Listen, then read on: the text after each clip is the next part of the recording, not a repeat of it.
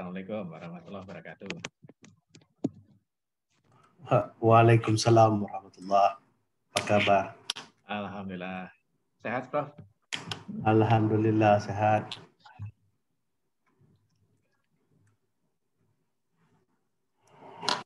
Kita masih sampai jam satu ya. Silakan disiapkan dulu. Iya, iya. Bagaimana kesehatannya? Udah membaik ya? Alhamdulillah. Alhamdulillah udah. Harus banyak gerak emang. Itulah susahnya juga. Kerjaan kerjaan hanya duduk saja. oh iya. Itu bikin mata jadi capek yeah. ya. Cepat lelah itu kalau duduk di depan komputer terus ya. Kalau nggak laptop, HP, laptop, HP ya. Waduh, radiasi semua itu ya.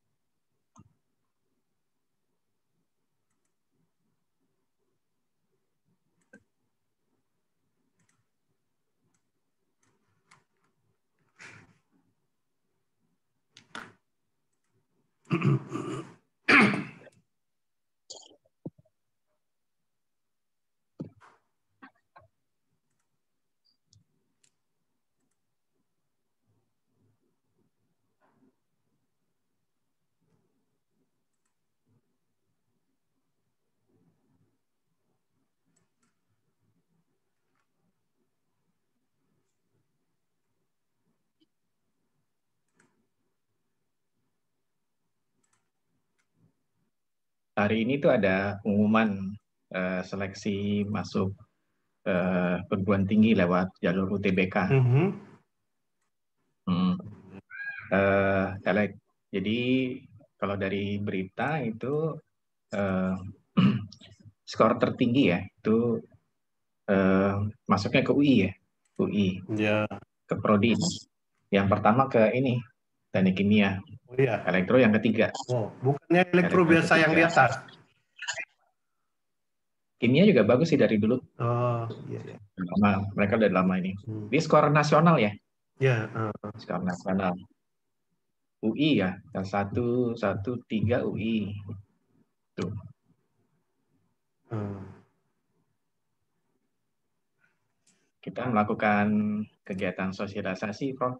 Iya. Bikin webinar juga buat uh, para murid-murid SMA gitu. Uh, uh. Penjelasan elektro. Iya.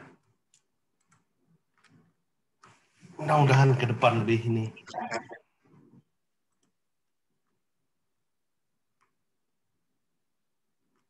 Ya, saya belum share uh, ini ya, slide ya. Nanti belakangan boleh. Oh iya.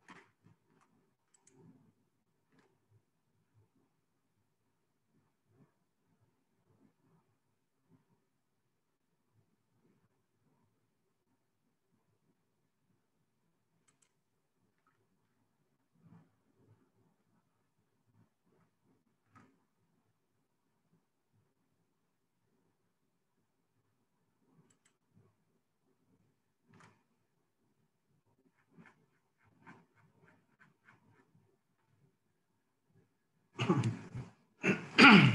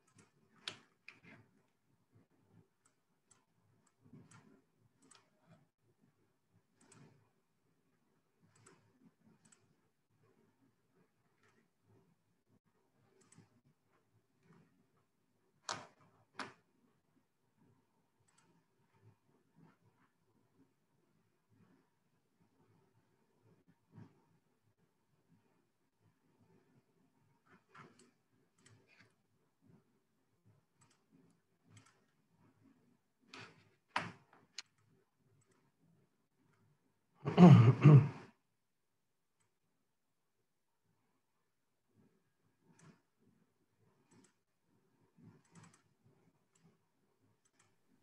udah jam satu, Prof. Eh, kita mulai saja ya. Oke.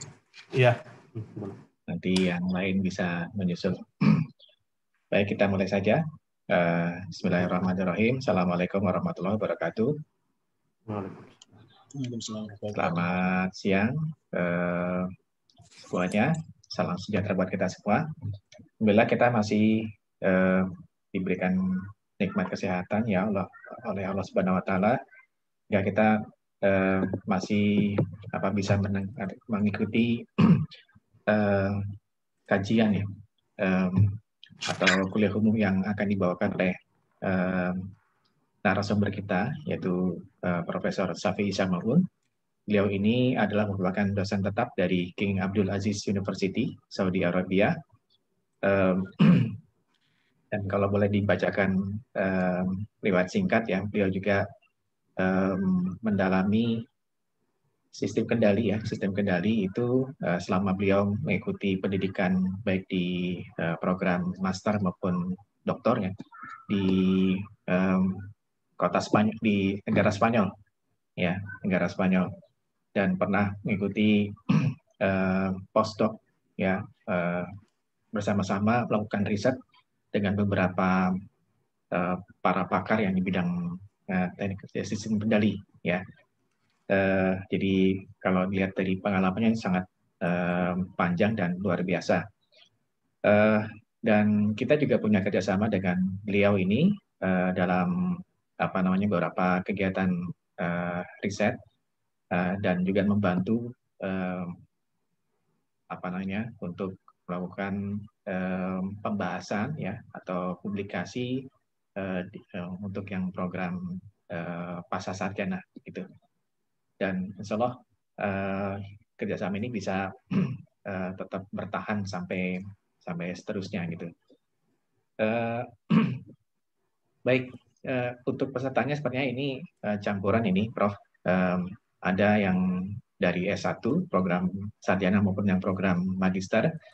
Uh, untuk yang program sarjana itu uh, ada uh, kelas sinyal dan sistem, jadi mereka itu baru mempelajari tentang dasar-dasar sinyal dan sistem, dan ini merupakan salah satu pengalaman juga ya bagaimana um, apa namanya melihat uh, aplikasi sinyal sistem itu dalam uh, dunia ya terutama untuk yang di bidang teknik elektro. Ya, kalau di kuliah mereka sudah mendapatkan uh, pencerahan tentang aplikasi sinyal sistem itu di uh, teknik telekomunikasi ya, terus kemudian baru teknik telekomunikasi ya, ya. Nah, sekarang kita kita melihat bagaimana penerapan sinyal sistem ini ya um, ya kontrol itu uh, di bidang teknik kendali dan ini juga termasuk uh, teknik biomedik ya kalau nggak salah ya Prof ya. Dan juga untuk yang kelas uh, sistem kendali uh, prediktif dan adaptif. Uh, jadi uh, ini juga merupakan salah satu uh, event juga untuk uh, kalian nanti bisa mendapatkan pencerahan ya bagaimana implementasi dari advanced control system ini uh, yang sudah diimplementasikan terutama untuk yang dan uh, dan juga di bidang riset ya. Bukan cuma implementasi tapi juga yang uh, ke arah risetnya di sini. Dan kita lihat uh, bagaimana posisi uh, sistem kendali itu bisa bisa uh, merupakan sebuah posisi yang strategis. Karena uh, dia bisa ke mana saja ya. Uh, bisa ke uh, apa namanya ke teknik mesin, ke teknik sipil, ya dan sekarang kita lihat ke teknik biomedik di sini. Uh, mudah-mudahan untuk waktu dua jam ke depan ini uh, kita sama-sama mendapatkan uh, uh, pengalaman yang uh, luar biasa uh, dari narasumber kita, Prof. Safi'i Samaun.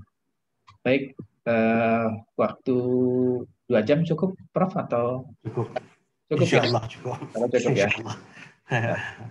Baik, uh, waktu dan tempatnya kami persilakan kepada Prof. Safi'i. Oke, terima kasih sebelumnya.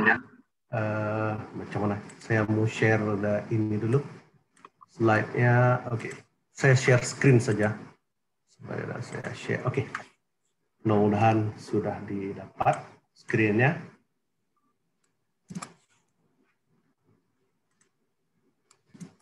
Bagaimana? Dapat screen ya? Sudah, sudah. Sudah dapat. Oke. Oke, sebentar. Saya ingin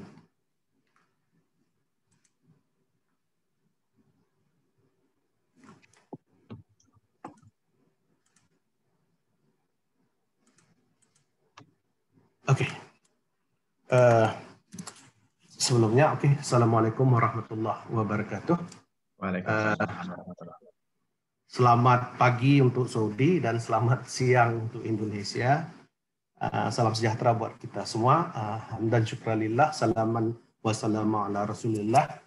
Uh, sebelumnya saya berterima kasih kepada Pak Aris yang sudi mengundang saya untuk berbicara dalam hal automatic control ini yang terutama untuk saat ini kita akan berbicara masalah diabetes.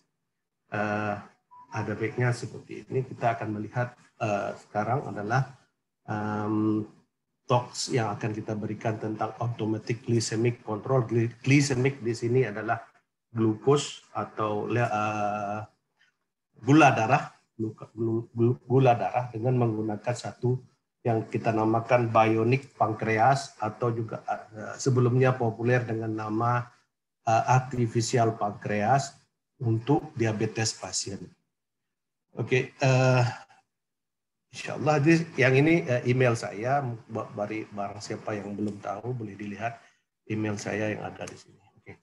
Jadi talk akan mencukupi empat bagian. Yang pertama kita akan melihat uh, recent development kemudian beberapa sejarah yang lalu dan uh, model mathematical model development macam bagaimana sehingga ini sangat menarik untuk kita kaji dan kemudian uh, desain kontrol saya akan coba jelaskan desain kontrol uh, memoryless controller synthesis untuk uh, PID control dan H infinity controller ada dua kontrol yang akan saya coba jelaskan bagaimana uh, aplikasinya di uh, bionic pankreas. Kemudian uh, apa mungkin yang kita bisa buat bersama untuk future research?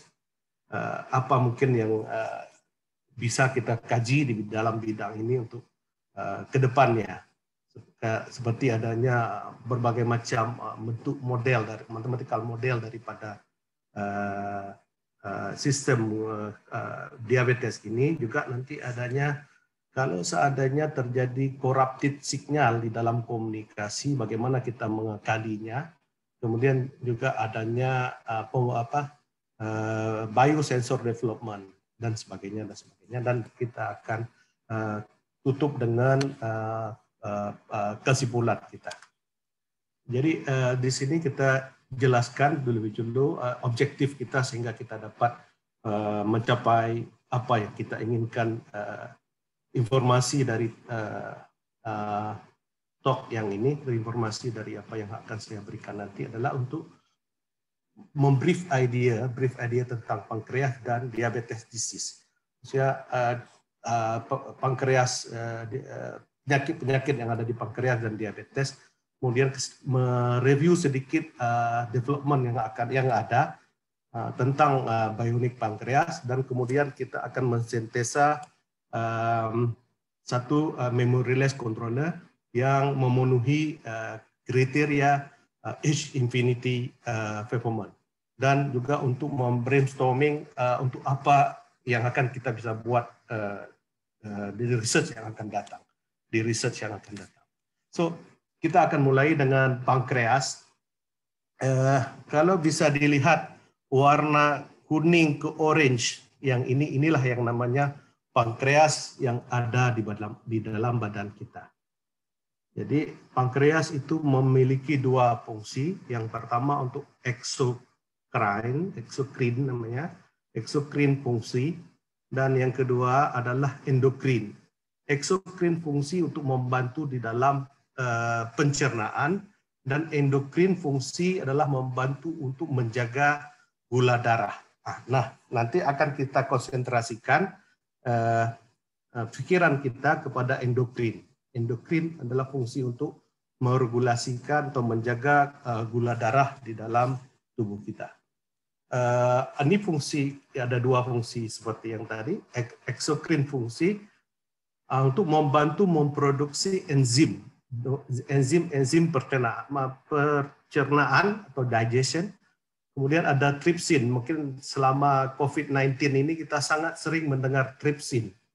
Nah, tripsin ini uh, sejenis uh, enzim juga dan uh, simotripsin adalah untuk membantu uh, pencernaan. Oke, okay? kemudian amilase juga untuk membantu pencernaan dan khususnya kalau kita makan seperti nasi itu kerjaan amilase dalam bentuk kimia dan lipase, lipas, lipas untuk uh, untuk lemak, untuk menghancurkan lemak.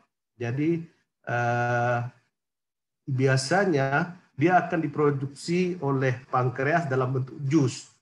Yang bentuk jus begitu kita makan, pankreas akan automatically aktif secara alami untuk memproduksi uh, enzim-enzim ini untuk mencerna uh, makanan yang kita makan. Itu fungsi daripada endo exocrine function.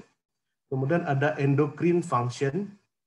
Itu biasanya ada uh, sel-sel yang namanya islet cell yang membuat memproduksi yang namanya hormon. Dan hormon, hormon ini ada dua. Yang pertama adalah insulin dan yang kedua adalah glukagon. Insulin tidak asing bagi kita yang kita dengar dan saya rasa juga glukagon tidak asing kita dengar, terutama buat kaum ibu-ibu yang suka kelihatan putih suka memakan yang namanya glukola, itulah dia isinya glukagon di dalam darah. Tapi berhati-hati karena glukagon itu akan menaikkan gula darah. Oke, eh, kemudian uh, dari sini kita akan melihat uh, lebih dek, ini lagi tentang pankreas itu sendiri. Yang yang ini adalah pankreas yang berwarna kuning yang ini. Oke, yang ini apa namanya gallbladder empedu empedu oke empedu yang jadi makanan yang akan masuk ke perut kita akan diberikan jus oleh pankreas dan empedu untuk menghasilkan uh, uh, enzim-enzim yang saya sebutkan tadi sebelumnya. Jadi uh, untuk menjaga gula darah di dalam, amin, untuk menjaga gula darah itu sangat-sangat diperlukan dikarenakan fungsi daripada gula yang ada di darah itu adalah memberi, memberikan energi kepada sel-sel yang ada. Kelebihan energi yang ada di darah, kelebihan gula yang saya maksudkan, akan menyebabkan terjadinya uh, disfungsi daripada uh, otak kita atau brain, kemudian hati atau liver, dan uh, ginjal itu sendiri. Jadi banyak masalah. Jadi harus kita menjaga gula darah yang uh, normal, yang normal. Apa normal, seberapa normal nanti akan saya jelaskan lebih uh, detail. Kemudian jenis penyakit yang ada di pankreas ada yang namanya pankreatitis, adalah inflamasi daripada pankreas untuk yang memproduksi pankreatik enzim seperti uh, untuk mendigest uh, organ itu. Maksudnya di sini kalau pernah dengar macam penyakit autoimun, tapi ini autoimun untuk pankreas, dia akan memakan organ itu sendiri. Jadi ini salah satu penyakit yang berat akan terjadi dan ada juga namanya prekursor pancreatic cancer. Nah, ini um, juga terjadi uh, salah satu penyebab yang akan menyebabkan ke, apa nama uh, diabetes itu sendiri. Uh, kemudian juga uh, pre, uh, pancreatic cancer ini the most common from pancreatic. Hal ini ada uh, yang terjadi cukup banyak di masyarakat kita tentang pancreatic cancer ini. Uh, karena salah satu penyebab gula darah boleh terjadi boleh oleh karena cancer di uh, pankreas itu sendiri. Oleh oke. Okay.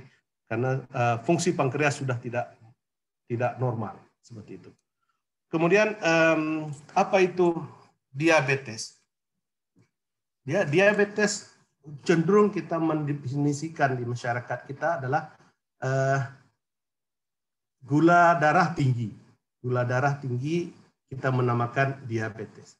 Sebenarnya uh, diabetes itu boleh juga kita namakan bila kita gula darah kita gula darah kita rendah.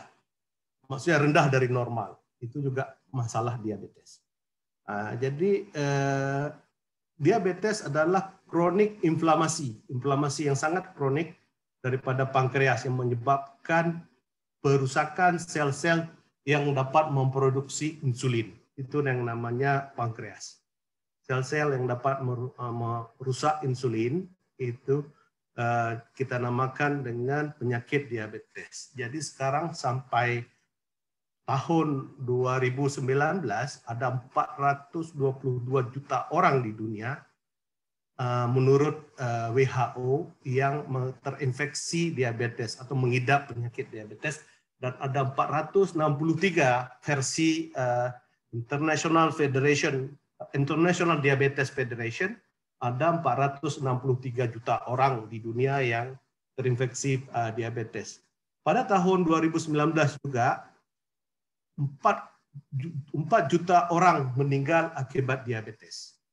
Dan uh, untuk kasus Indonesia pada tahun 2019 saya mendapat uh, dari Diabetes Atlas informasi ada sekitar 10 juta orang di Indonesia mengalami diabetes.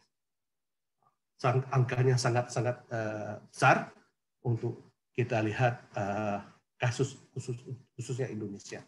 Jadi uh, bagaimana uh, diabetes atau uh, gula itu sendiri bekerja atau uh, glukos itu kita pakai. Bila kita makan makanan makanan yang kita makan walaupun bukan karbohidrat di dalam sistem uh, uh, digestion kita dalam sistem uh, pencernaan kita dalam perut kita dia akan diubah menjadi glukos. Akan diubah menjadi glukos oleh enzim-enzim yang ada di dalam uh, sistem pencernaan kita Glukus ini uh, akan menyebabkan uh, dikirim ke darah dalam diabsorpsi oleh darah yang akan dikirim ke uh, seluruh badan kita. Jadi di sini akan menyebabkan uh, peningkatan jumlah glukos yang ada di darah kita. Peningkatan jumlah glukos yang ada di darah kita akan dinetralkan oleh oleh pankreas, akan dinetralkan oleh pankreas. Oke, okay? di tugas pankreas untuk merespon kalau gula darah kita tinggi. Kemudian uh, dalam bentuk insulin, dalam bentuk insulin masuk lagi ke dalam uh, hati atau uh, liver dan liver di sini juga uh, uh, adalah untuk mengambil lagi gula gula yang ada sehingga terjadinya uh, glukos darah uh, gluko, apa uh, gula darah yang normal itu akan terjadi siklus yang ada di dalam tubuh kita. Kalau kita pelajari secara kimia, kebetulan saya background asal kimia, eh, enzimatik reaksi, reaksi enzimatik di dalam tubuh kita itu sangat-sangat menarik dan itu itu adalah seperti sebuah eh, jagat raya yang begitu banyak reaksi di dalamnya. Tapi sementara kita tidak akan berbicara kimia, insya Allah. So saya akan bedakan di sini dua uh, kategori yang kita namakan tipe 1 dan tipe 2, oke, okay? tipe 1 dan tipe 2 daripada uh, uh, ini kita, oke, okay? daripada uh, diabetes. Ada dikatakan diabetes tipe 1 dan tipe 2. Tipe 1 adalah pada saat uh, pankreas sudah tidak memproduksi insulin. Jadi uh, seorang pasien sangat bergantung kepada insulin yang ada dari luar, insulin yang ada dari luar. Itu kondisi kepada tipe 1 dan sangat bergantung kepada insulin yang yang yang di luar. Sementara untuk tipe 2, pankreas masih memproduksi insulin tetapi eh, ketidakstabilan produksi insulin yang terjadi di dalam pankreas ini akan menyebabkan fluktuasi eh, gula darah, akan menyebabkan fluktuasi eh, gula darah di pada pasien yang menyebabkan nanti ada saat dia mengalami diabetes, ada saat dia tidak mengalami diabetes. Alright, seperti itu yang kita maksud tipe 1 dan tipe 2. Oke, okay? yang ini saya jelaskan di sini tipe 1 dan di sebelah kanan tipe 2 dalam bentuk image bisa dilihat lebih jelas. Oke, okay, insyaallah. Uh, ada namanya nanti uh, hyperglycemia. Itu gula darah tinggi, oke, okay? hyperglycemia Uh, komplikasinya saya ambil dari Mayo Clinics, ada long term komplikasi seperti akan terjadi penyakit jantung uh, seperti uh, kardiovaskular, terjadi darah tinggi dan sebagainya, itu uh, dari hyperglycemia. Ya, jadi saya mengharap agar kita semua bisa menjaga gula darah. Karena ini sudah kita lihat uh, komplikasinya yang sangat banyak. Kemudian ada neuropati. Neuropati adalah terjadinya eh, saraf-saraf, kerusakan-kerusakan saraf disebabkan selalu tingginya uh, gula darah. Kemudian ada diabet, diabetik nefropati, itu ada akan terjadi kerusakan uh, ginjal, kerusakan ginjal. Jadi hati-hati dengan gula, jangan makan gula banyak. Ada satu lagi yang namanya diabetik retinopati. Bila mata kita sudah kabur, ada katara, ini sudah ada gula darah yang tinggi.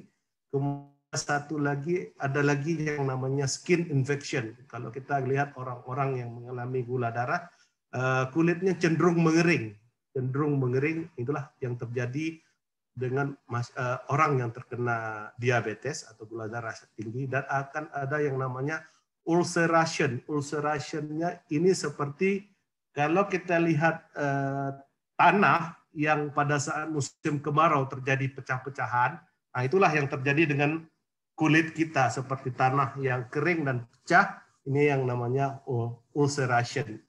Oke, okay. kemudian ada satu lagi uh, tulang, sakit-sakit tulang, uh, sakit-sakit gigi dan uh, gusi, infeksi gusi. Jadi di sini salah satu komplikasi yang long term Okay. Yang emergency komplikasi ada yang namanya uh, diabetic ketoacidosis atau ataupun glukos tidak bisa masuk ke sel. Glukos tidak bisa masuk ke sel dalam artian uh, tubuh atau sel-sel tidak menerima energi. Sel-sel tidak menerima energi uh, sehingga walaupun kita makan kita merasa lemah, merasa lemah, merasa fatik dikarenakan uh, terlalu sering uh, apa nama hypoglycemia ini. Oke. Okay. Juga akan ada terjadi state yang namanya hypermolar. Hyporus molar, hyporus molar adalah fungsi insulin yang tidak bagus. Seperti tadi, mungkin kita masih ada insulin, tapi uh, insulin itu tidak bisa membawa uh, gula diserap oleh sel untuk energi. Oke, itu uh, untuk hyperglycemia. Jadi penyakitnya akan uh, seperti ini untuk jangka panjang walaupun secara emergensi. Kemudian ada yang saya tadi saya sebutkan gula darah rendah. Nah, gula darah rendah bila kita berada di bawah normal, maka komplikasinya akan terjadi semacam uh, presipitasi ataupun uh, uh, respirasi atau akut cerebral disease ini uh, lagi lagi ke vaskular cerebrovaskular itu antara jantung dengan hati dengan kepala Kemudian ada myocardial infarction tentang kardial. Kemudian ada neurocognitive dysfunction tentang kita kadang-kadang tidak bisa mengenal objek itu uh, disfungsi daripada itu. Kemudian ada retinal cell death dan loss of vision.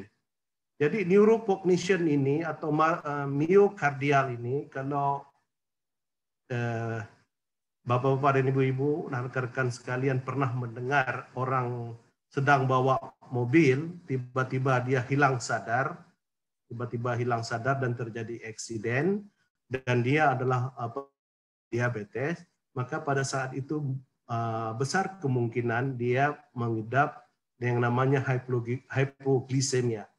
Jadi orang yang mengalami hypoglycemia bisa hilang sadar atau unconscious di dalam bahasa medisnya bisa hilang sadar. Oke, okay? uh, jadi uh, menjaga, jadi seperti tadi menjaga level gula darah dalam normal itu sangat penting. Kita harus menjaga dalam batas normal. Oke, batas normal nanti kita akan lihat lebih jelas.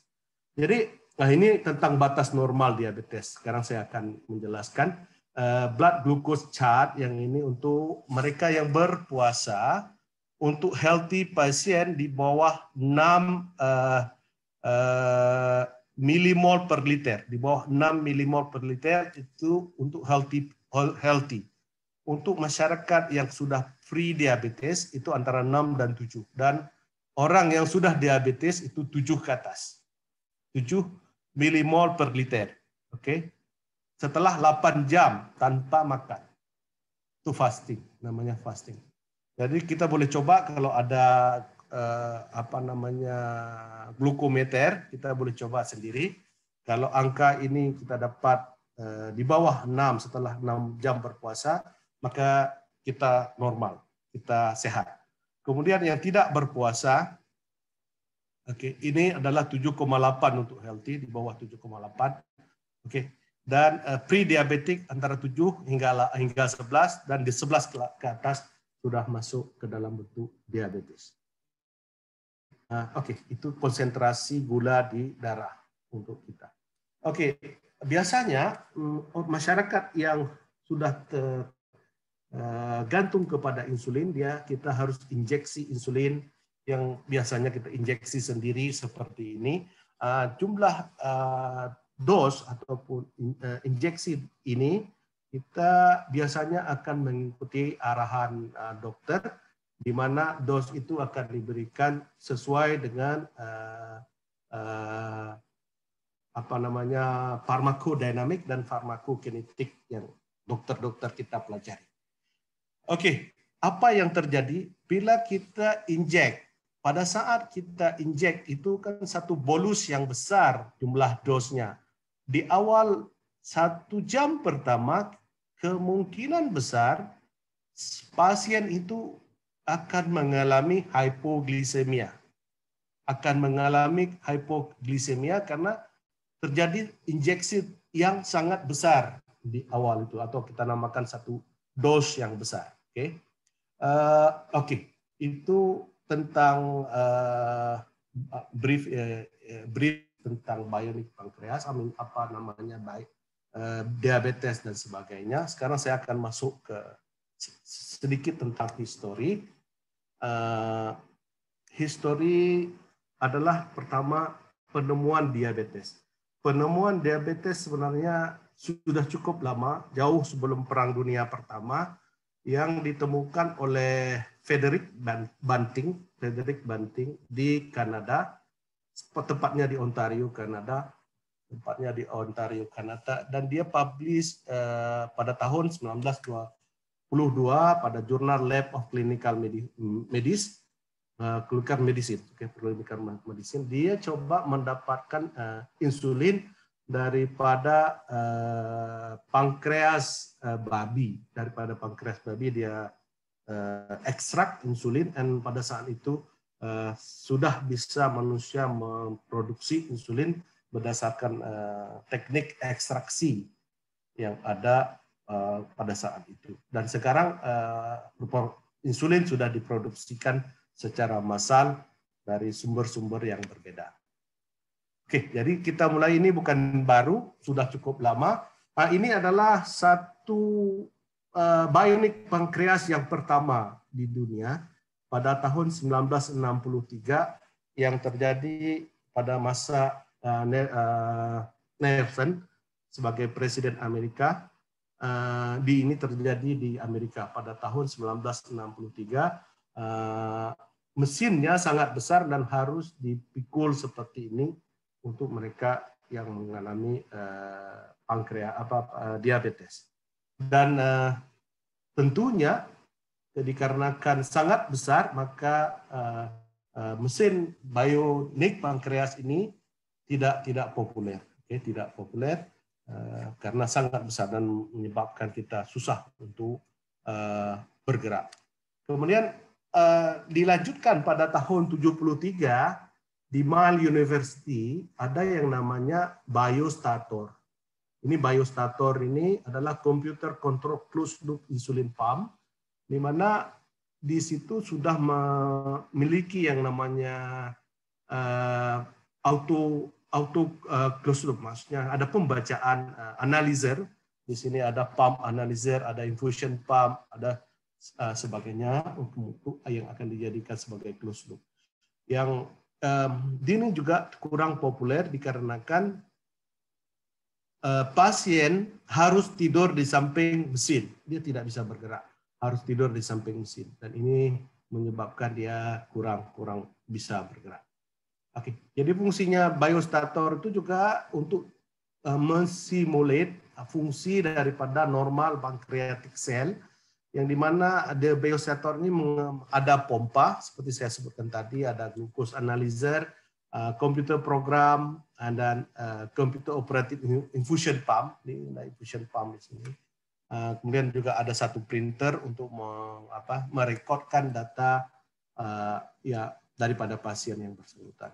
Ini terjadi tahun 1973. Jadi bionic pankreas ini bukan hal baru, hal lama Oke, dan masih bisa dibaru, dilihat seperti hal yang baru. Kemudian eh, ada yang namanya sering pump, auto sering pump. Ini sebenarnya juga tidak baru, itu sudah dibuat pada tahun 78 juga di Amerika pada tahun 78 oleh Pickup dan juga oleh Tam Tamborland eh, pada tahun eh, yang sama 1978 dia mencoba membuat sering pump, auto uh, sering pump. Yang pertama tadi yang sangat besar tahun uh, yang ini tadi tahun 63, oke, okay, masih menggunakan mesin yang sangat besar. Pada tahun 78, 10 tahun kemudian mesinnya sudah semakin kecil, semakin kecil. Okay, mesinnya sudah semakin kecil. Uh, oke, okay, then kita coba lihat uh, model development uh, untuk auto tadi kita harus tahu model, kita harus bisa membuat algoritma untuk PAM itu sendiri. Uh, model itu sendiri juga bukan hal yang baru. Tahun 79, uh, Bergman sudah apa mempro, mempromosikan atau mengajukan sebuah model yang diberi nama minimal model, minimal model daripada glukos kinetik.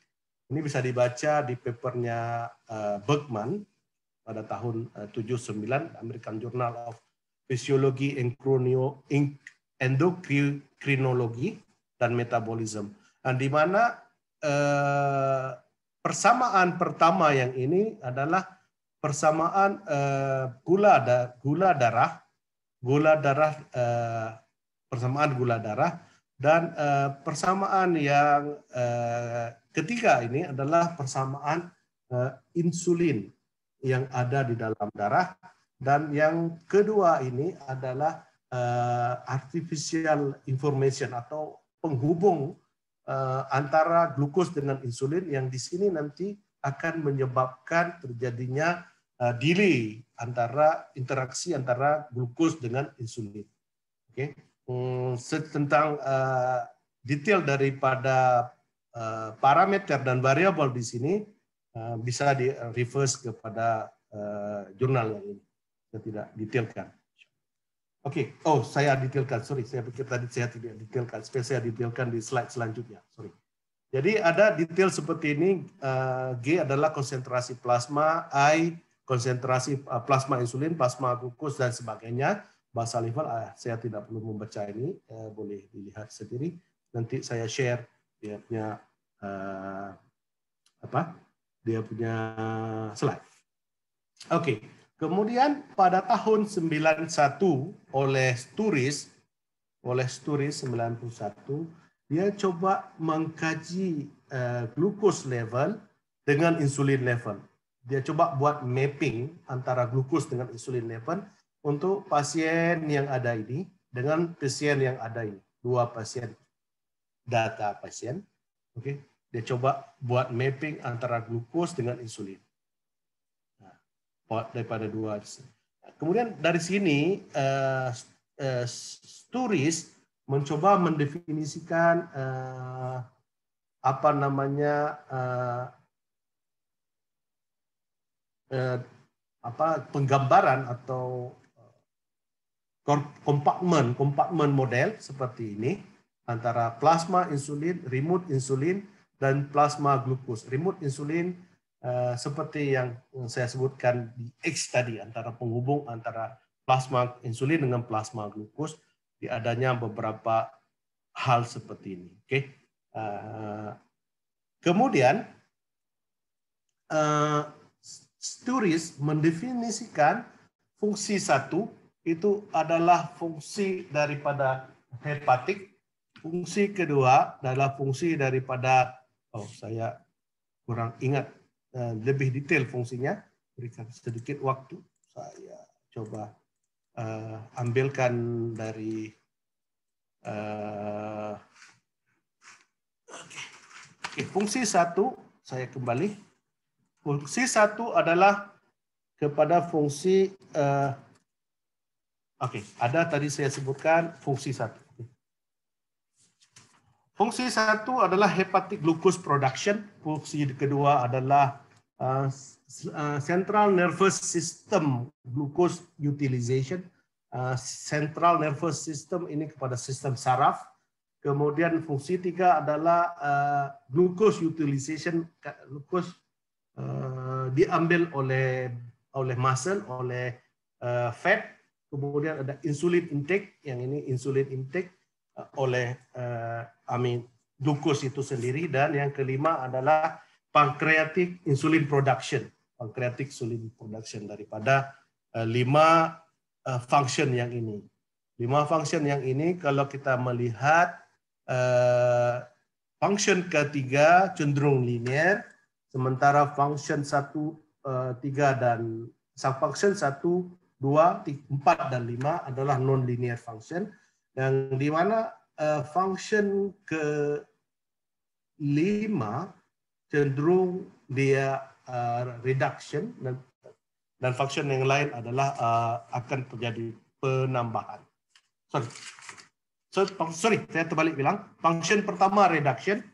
Ini baru kita lihat eh, function sebagai G. Function pertama akan menjadi pengurangan function. kedua dia akan bertambah, keempat bertambah dan kelima bertambah. Kemudian eh, apa namanya Sturis mendefinisikan atau menggambarkan dia punya model seperti ini, di mana model ini sudah ada uh, informasi tentang uh, jumlah glukos intake ataupun makanan yang diam, yang kita makan, kemudian berdasarkan function-function itu sendiri. Jadi kalau kita lihat persamaan pertama dengan persamaan kedua, kita akan melihat di sini cukup sangat non-linear. Ada F2, function 2, function 3, function 4, function 5, dan function 1. Dan eh, ini ini sendiri adalah lebih kepada uh, mekanisme maintain nantinya, mekanisme maintain uh, relation uh, untuk uh, persamaan insulin itu sendiri. Kemudian ada insulin yang satu lagi yang ini. Kemudian ada dia mencoba mendefinisikan uh, delay untuk persamaan yang ini. Ini masuk ke persamaan delay. Oke. Okay? Interaksi yang persamaan ini akan menyebabkan uh, delay di itu uh, itu sendiri. Oke, okay, so uh, itu daripada Sturis kemudian Sturis mendefinisikan dia buat simulasi dari dari model itu. Simulasi menunjukkan seperti ini. Kalau saya kembali ke data awal, maka simulasi dia akan sangat dekat dengan data yang uh, ada sebelumnya. Sangat dekat dengan data yang ada sebelumnya. Dan uh, untuk dua jenis data. Jadi model dia dianggap uh, lebih akurat daripada Bergman model yang ada sebelumnya. Jadi di sini uh, Sturis memprediksikan da, delay yang terjadi adalah sekitar 30 hingga 45 menit uh, delay yang terjadi. Jadi uh, kemudian ada delay ada lagi datang baru-baru uh, ini 2014 uh, Kissler model. Saya ambil ini model karena ini model Kissler lebih sederhana, lebih sederhana di mana uh, hanya ada dua persamaan uh, sama seperti persamaan Sturis tadi, tapi dia mencoba melihat di sini ada uh, delay yang namanya TU2 uh, daripada F5. F5 itu pankreatik insulin uh, produk daripada pankreatik insulin, oke? Okay? Atau uh, hepatic glucose production. Ini hepatic glucose production kemudian ada F2, F2. Kemudian di sini saya interest dengan eh, model daripada uh, Chrysler ini karena mengikutkan di sini aktivitas fisik. Aktivitas fisik di mana M adalah aktivitas dan MB adalah aktivitas normal daripada shifting itu sendiri dan S adalah slope daripada aktivitas itu dan F3 dan F4 uh, menunjukkan non-linear daripada ini. Dan uh, di sini untuk insulin production uh, atau insulin dynamic di dalam sistem ada insulin in uh, ini jumlah insulin injection. Kemudian ada fungsi daripada insulin production insulin pankreatik insulin production function satu ini dan uh, mekanisme maintain uh, mekanisme maintain equation alimentasi equation. Jadi untuk pasien yang uh, tipe 1, tipe 1 dia pankreatic production sudah tidak ada sehingga kita menganggap uh, apa namanya kappa ini sama dengan nol. Kappa ini sama dengan nol di dalam uh, persamaan ini. Oke, okay. untuk pasien uh, apa uh, tipe 2 Kappa tidak sama dengan nol. Kappa tidak sama dengan nol. Jadi eh, kita lihat persamaan yang ini. Eh, salah pertama kesusahan dalam dalam hal matematiknya atau dalam hal eh, kontrol teorinya adalah persamaan ini tidak memiliki equilibrium, tidak memiliki nilai steady state yang real, yang real karena dia chaotic behavior karena dia memiliki sifat yang chaotic. Okay. Nah, itu salah satu kesukaran. Kesukaran yang kedua adalah dia uh, state delay. State delay akan menyebabkan chaotic juga. Uh, Oke, okay. bisa dipelajari atau dicoba lihat daripada paper yang saya sebutkan di bawah untuk contoh daripada uh, delay ini sendiri. Kemudian ada uh, Wu model, ini tahun 2015 kalau saya tidak silap, di Singapura. Ini ada Singapura National University Singapura mencoba mempropos di enam model dikatakan dengan subcutaneous insulin injection model di mana ini ada enam jenis model. Enam jenis model uh, dan uh, hepatic production F. F berapa tadi? F1 yang kita lihat ini. F1 dengan hepatic production didefinisikan seperti ini. Yang lain lebih kurang definisi mendekati yang sama oke? Okay? mendekati definisi daripada turis tadi. Uh, yang ini adalah um, maintain uh, equation, maintain equation. Dalam ilmu uh, enzim, enzim maintain adalah uh, pionir orang-orang awal yang menentukan uh, uh, studi tentang uh, kinetik daripada itu sendiri. Oke, okay. ya 2013 saya saya salah sebutkan tadi saya sebutkan 2015 ternyata 2013 yang dipredik yang dipublish uh, oleh Wu. And stability daripada model ini saya sudah buat studi tentang stability dan saya coba juga ada buat kajian untuk mendesain controller pada jenis model yang ini. Nanti kita akan lihat uh, lebih detail lagi tentang model ini. Oke, okay, recent development uh, sekarang uh, diabetic patient hanya ada alat yang kecil seperti ini, tidak lagi alat yang besar seperti yang di awal-awalnya. Jadi ini adalah glucose sensor, yang ini adalah uh, apa ya needle jarum jarum jarum yang ditusuk ke dalam badan pasien dan yang ini adalah uh, glucose monitoring system, continuous glucose monitoring system, di mana Eh, komunikasi antara uh, sensor kepada uh, katakanlah ini controller dan controller ini pack dengan sering pump. Uh, sering pump ini akan bergerak untuk uh, injeksi atau infusion kepada uh, insulin itu sendiri. Jadi close loop seperti ini yang akan terjadi dan sangat simpel. Nanti bisa dilihat beberapa player ataupun pasar yang ada tentang produk ini. Uh, sekarang demand di dalam research adalah uh, tidak artinya uh, komunikasi antara saya kembali ke ke ini lagi ke ini lagi. Komunikasi antara ini antara sensor dengan continuous glucose monitoring dan injeksi harus diketahui oleh uh, medical doctor harus diketahui oleh dokter. Macam mana?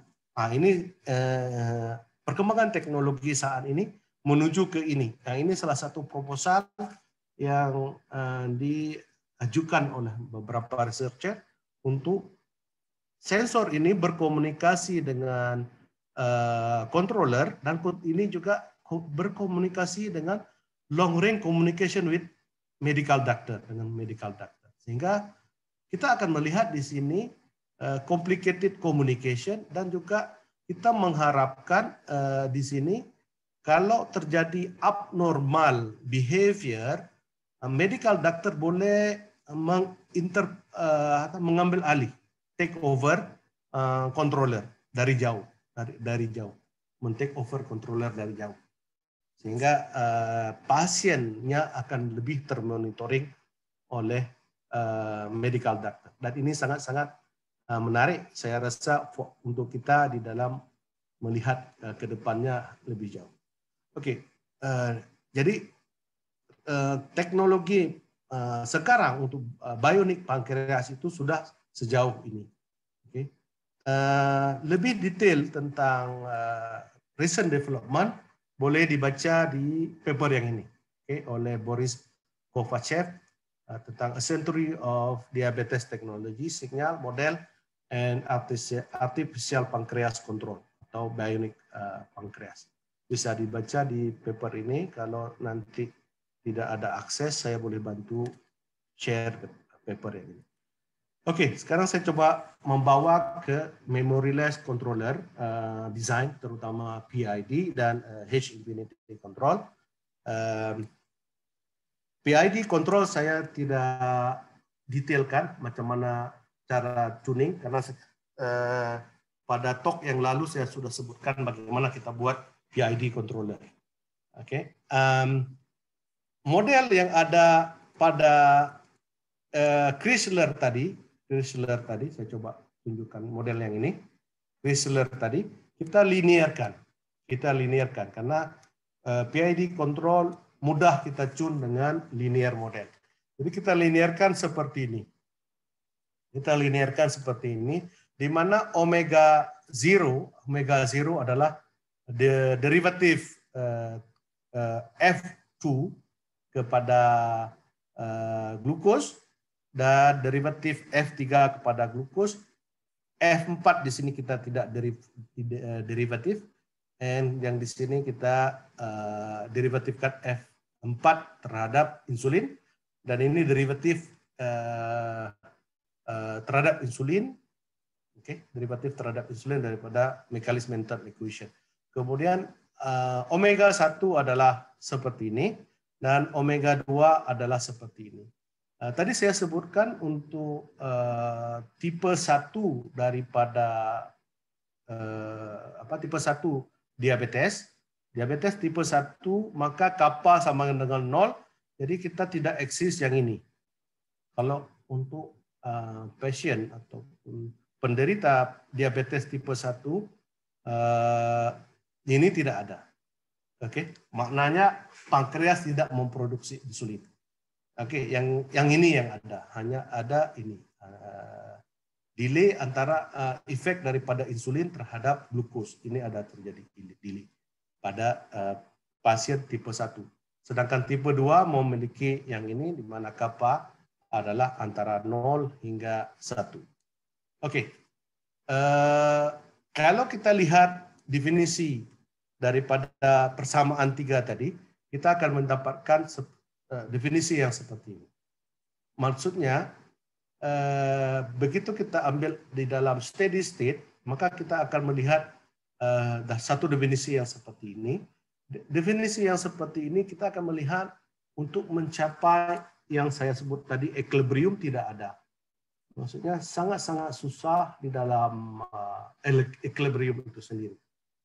Oke, maksudnya dalam steady state kalau kita mencari steady state Eh, situasinya macam tidak eksis di steady state. Jadi kita hanya bisa bermain di dalam tuning nanti memilih meng, apa, memilih sendiri nilai K dan uh, eta ini, kappa dan eta yang kita sesuaikan. Okay. Uh, eh, biasanya di dalam satu kontrol uh, kita mengambil uh, glucose star atau glucose in steady state dalam uh, state yang steady adalah 120 mg per desiliter. Ini adalah uh, kondisi gula darah yang normal. Sementara insulin di dalam darah kita boleh bervariasi antara 0 hingga 100 uh, mikro U per mililiter. U per mililiter. Oke, jadi uh, ada satu uh, controller yang sudah saya coba desain. Ini controller uh, seperti ini, PID controller. Ada nilai seperti ini. Oke, di dalam bentuk PID controller. Dan saya coba buat simulasi uh, untuk kappa dari satu dari 0 sampai 1 dan akan saya kita melihat seperti ini. Beberapa pasien Okay, yang ini adalah pasien tipe 1. Dia mengalami uh, peak, mengalami hypoglycemia, kemudian uh, menuju ke normal di 120. Kemudian uh, sedikit sedikit menuju tipe 2 di mana kappa bukan lagi nol tapi masih kecil, dia akan menuju seperti ini. Bila kappa sudah di atas 0,3, dia akan osilit. Akan osilit. Ini uh, simulasi saya buat untuk uh, sistem yang uh, glukos intake-nya continuous. Tidak mengikuti waktu. Misalnya kita makan sehari tiga kali, saya tidak buat sehari tiga kali, dia akan ambil terus berkelanjutan, terus continuous. Dia punya uh, inilah uh, apa uh, tingkah laku daripada glukos level itu sendiri. Dan ini uh, insulin level di dalam tubuh rata-rata menuju ke 20 kalau kita lihat ini uh, steady-nya di 20 walaupun angka steady-nya dalam bentuk osilasi uh, ini beberapa jenis uh, apa namanya insulin injection infusion itu sendiri. Untuk pasien yang biru ini sendiri adalah insulin injection seperti ini. Oke, ini uh, behavior yang seperti itu. Oke, itu dalam bentuk uh, insulin injection untuk PID control. Apa yang kita lihat bahwa di sini uh, simple uh, PID control tidak bisa kita aplikasikan keseluruhan sistem antara antara dia I mean tipe 1 dan tipe 2 maknanya kalau bahasa lain kita tidak bisa apply-kan kepada hybrid sistem antara tipe 1 dan tipe 2. Dia bekerja bagus untuk tipe 1 tapi tidak bekerja bagus untuk tipe 2. Um, Oke, okay. kita lihat lagi untuk H infinity control. Uh, untuk H infinity control, uh, sistem yang kita definisikan ini tadi, seperti ini, tapi ini saya coba apply-kan kepada Wu model, kepada Wu model. Um, kita ada ini, ada uh, differential equation dalam bentuk linear. Kita definisikan ada AX, kemudian A1X uh, T subtract by H, kemudian ada uh, ini disturbance. Kita definisikan disturbance sebagai glucose intake. Kemudian ada uh, apa nama uh, insulin injection insulin injection dan ini delay insulin injection seperti ini. Kita definisikan seperti ini dan outputnya adalah dalam bentuk linear uh, di mana ini uh, si apa initial condition daripada sistem uh, daripada persamaan yang ini. Uh, kemudian kita mengambil U dalam definisi seperti ini adalah uh, gain multiple dengan state pada saat itu. Ini namanya nanti uh, uh, state uh, feedback control, state feedback control maka the closed loop system daripada persamaan ini menjadi ini. Ada A plus B, uh, BK kali dengan X tambah uh, A1 dan sebagainya seperti ini uh, dari persamaan ini sendiri. Kalau kita mengubah B uh, U menjadi ini dan ada lagi U di sini menjadi seperti ini. Jadi kita lihat persamaan ini, nanti kita akan melihat uh, stability dari persamaan ini dan kita akan mendesain K uh, controller gain controller gain.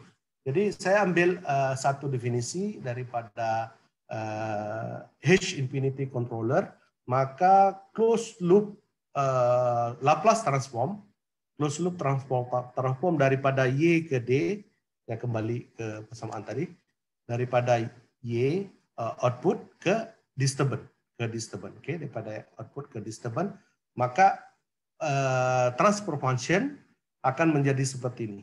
Ini transfer function yang kita ada persamaan 12.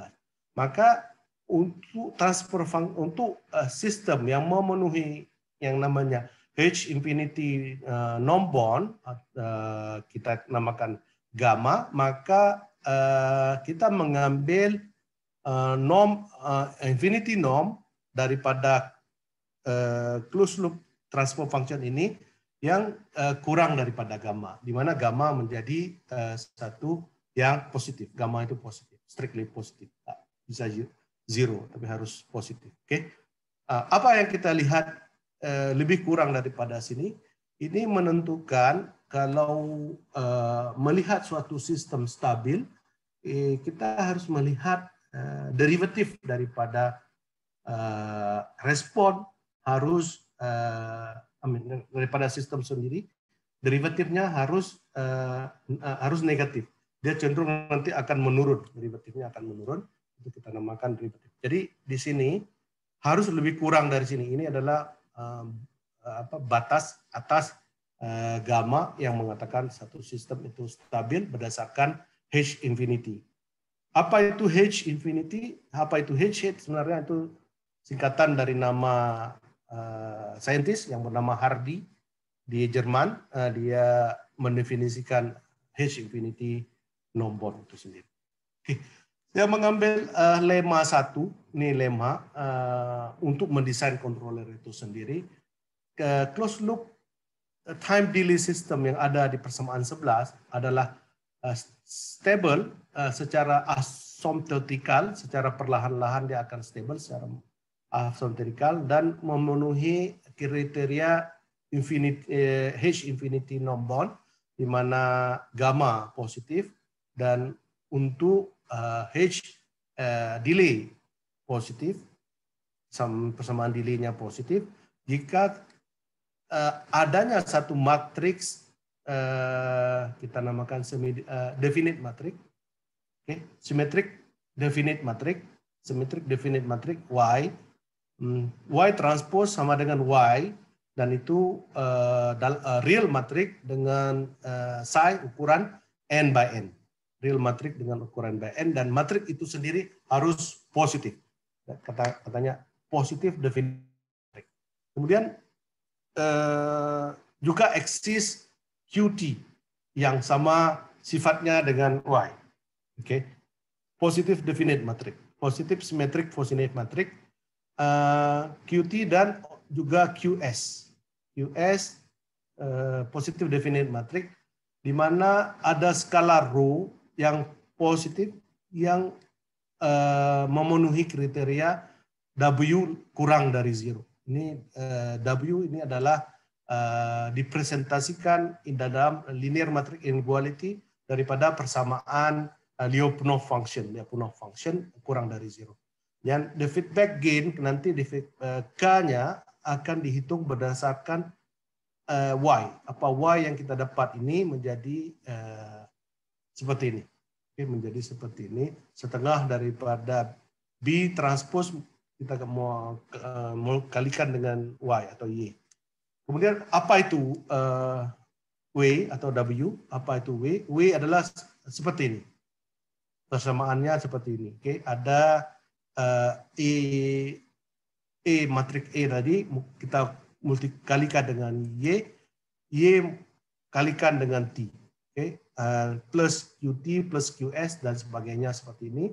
Uh, di mana dia diagonal matriks kalau kita lihat itu adalah negatif yang menunjukkan uh, semua uh, decision variable seperti Y, QT dan QS di sini harus uh, negatif, harus negatif. Oke. Okay?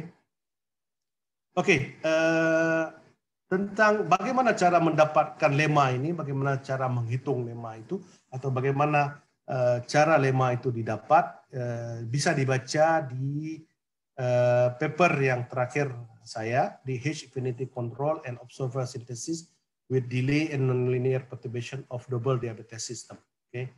uh, published di pada ISA Transaction volume 111 tahun 2021 uh, halaman 24 hingga 34. Uh, eh, bisa dibaca di uh, jurnal yang ini lebih lanjut.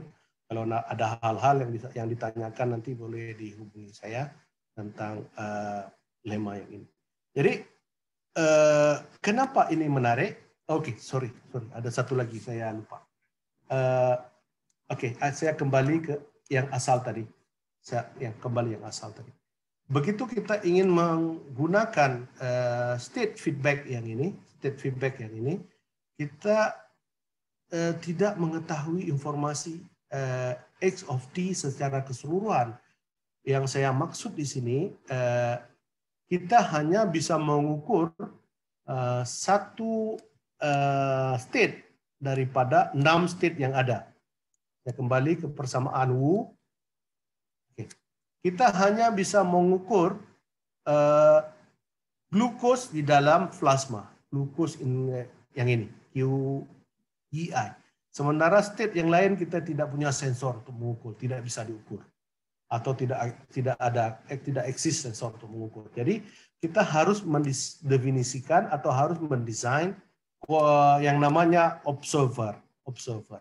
Jadi eh, di sini saya coba mendesain observer uh, berdasarkan uh, H infinity lagi, berdasarkan H infinity.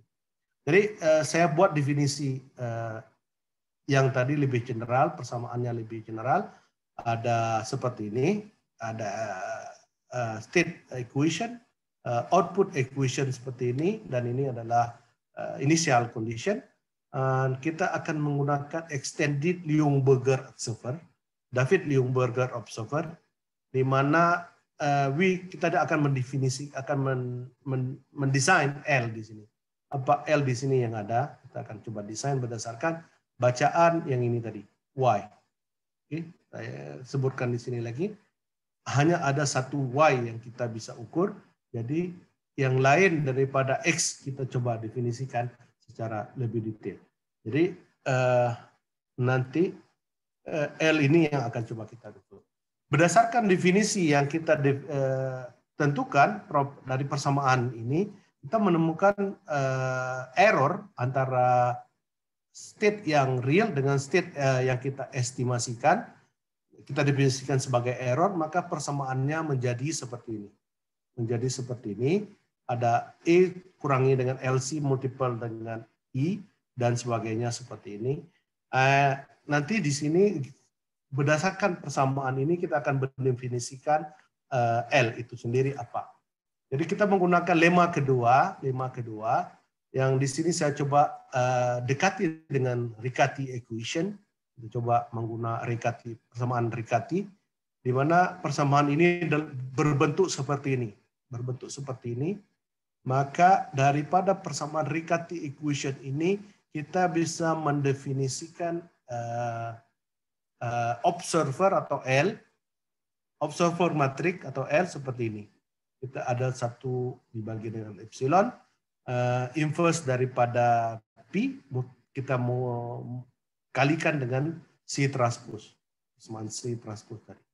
Jadi uh, seperti itu juga boleh dibaca proofnya di persama di paper yang saya publish di tahun 2001 ini bisa dibaca di paper yang ini tentang bagaimana proofnya. Saya tidak jelaskan di sini karena mengambil masa yang banyak untuk saya jelaskan dalam bentuk matematik. Jadi saya coba uh, mendefinisikan uh, glucose intake dalam bentuk Rayleigh probability function. Rayleigh probability function di mana probability function seperti ini. Apa maknanya? Pada saat kita uh, makan, maka tidak semua glukos convert apa semua makanan di convert menjadi glukos. Jadi akan mengikuti uh, curve yang seperti ini. Akan mengikuti curve seperti ini. Saya mengambil berdasarkan Rayleigh probability. Uh, puncak daripada curve ini menentukan berapa banyak kita makan. Menentukan berapa banyak kita makan daripada puncak yang ini. Oke. Okay?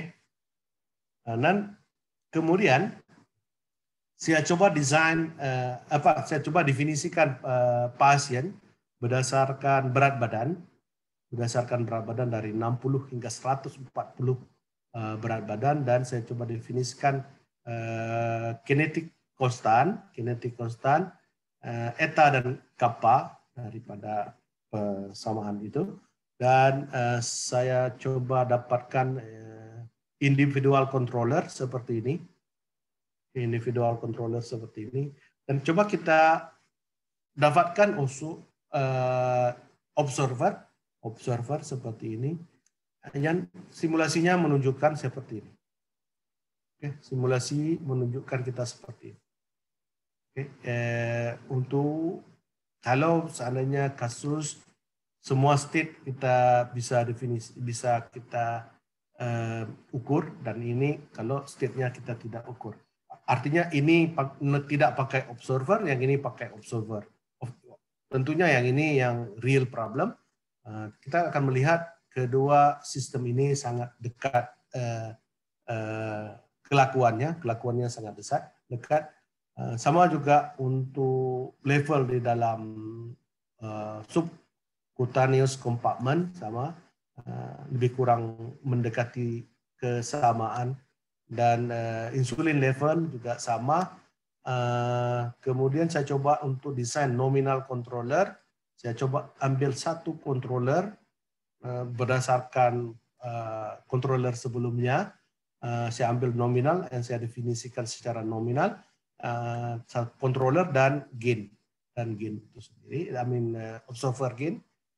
Berdasarkan uh, controller yang ini ke semua pasien, uh, pasien yang kita definisikan memiliki kesamaan uh, respon, kesamaan respon. Uh, ada yang cepat, ada yang lambat untuk menuju uh, nol. Di sini uh, saya tidak uh, reverse kepada uh, referen, hanya mereverse kepada state uh, dynamic, state dynamic. Oke, okay? sama dengan ini, itu juga sama kelakuannya. Uh, ini adalah insulin uh, di dalam plasma, insulin concentration di dalam plasma. Dan uh, ini uh, sama closed loop uh, respon untuk saya coba generatkan pasien random. Maksud saya uh, parameter-parameter yang ada di pasien itu kita generatkan random tanpa mengikuti uh, definisi pasien, tapi kita coba generatkan secara random dan uh, controller memiliki kesamaan. Oke. Okay. Uh, sama juga dan saya coba eh, bandingkan dengan optimal control di mana optimal control itu yang merah. Oke, controller ini responnya optimal control yang merah. Dan yang biru ini adalah uh, H infinity control yang mengambil kira uh, delay. Yang merah tidak mengambil kira delay. Kita tidak peduli dengan delay yang merah. Yang biru ini kita ambil delay sebagai kita punya masalah dan kita bisa lihat di sini uh, optimal control masih menunjukkan uh, nilai hypoglycemic akan menunjukkan hypoglycemic. Maknanya controller mampu menjaga glukos tetapi masih masalah dengan hypoglycemic.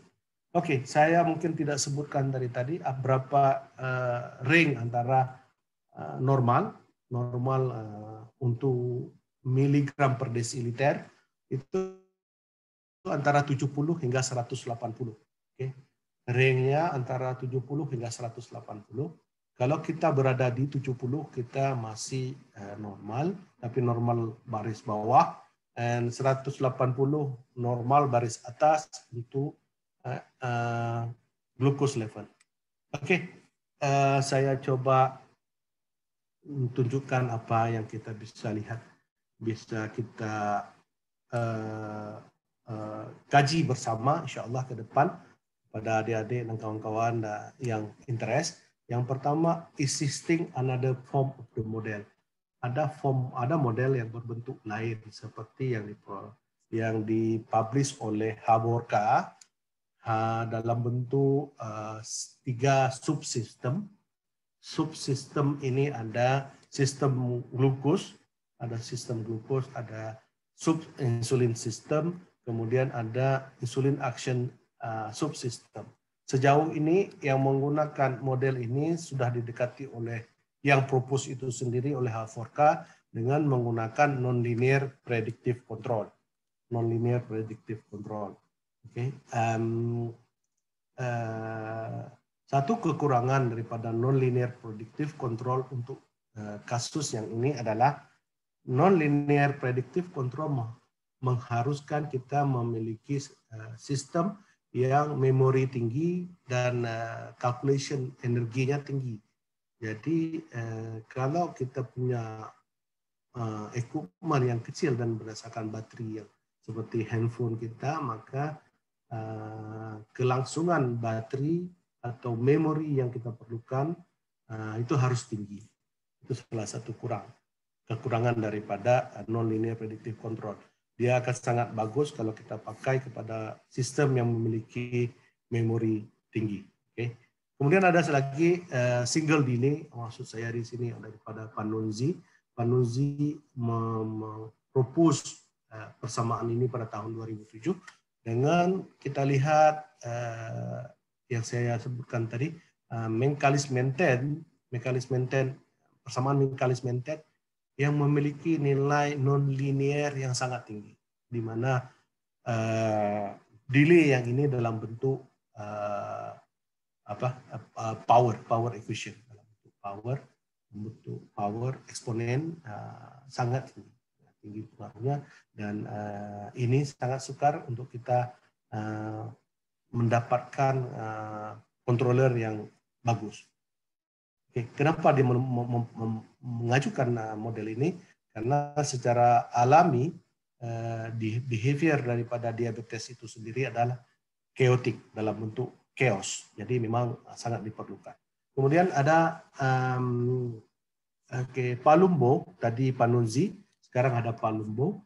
Ini yang sangat menarik, dia mencoba mendefinisikan uh, behavior atau kelakuan daripada diabetes dan insulin uh, dengan menggunakan yang dinamakan integral differential equation.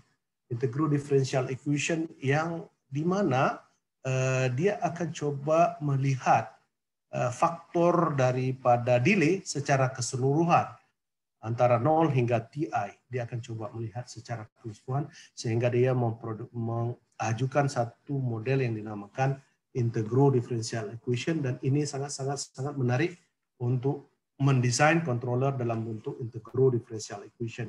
Sebelum saya lanjut ke slide selanjutnya, uh, integral differential equation ini juga sangat populer di beberapa uh, uh, studi ataupun proses yang dia membentuk memiliki um, apa uh, transportasi yang sangat jauh. Transportasi yang sangat jauh. Jadi dia akan mencoba uh, menggunakan integral differential equation. Kalau di elektro uh, untuk sistem komunikasi uh, dia coba juga menggunakan integral, integral differential equation di dalam komunikasi untuk mengcover keseluruhan uh, dinamik daripada komunikasi. Kalau kita lihat di dalam uh, uh, apa namanya industri perminyakan, um, kelakuan daripada sumur sumur uh, minyak adalah juga menggunakan integral differential equation Oke, okay, uh, jadi desain controller untuk integral differential equation is juga salah satu yang sangat-sangat menarik. Uh, nanti kita bisa discuss lebih lanjut kalau uh, apa keinginan untuk kita bisa lihat lebih lanjut karena faktor daripada chaotic behavior itu sendiri. Kemudian um, saya kembali ke corruptive signal. Uh, kalau kita lihat dari gambar yang saya tunjukkan tadi, di mana sensor dipasang di badan kita, dicolok ke dalam ke bawah kulit, kemudian uh, apa nama sensor berkomunikasi dengan uh, continuous uh, glucose monitoring, uh, itu bisa menyebabkan kehilangan uh, informasi, kehilangan informasi daripada sensor. Maknanya controller hilang informasi daripada sensor. Uh, ini pertanyaannya kalau controller hilang informasi daripada sensor, apa yang harus controller buat? Apa yang harus controller buat? Itu juga salah satu kajian yang sangat menarik. Ini, ini nanti bisa kita buat uh, seperti fall uh, detection controller. Kalau terjadi fall, bagaimana uh, controller itu bereaksi?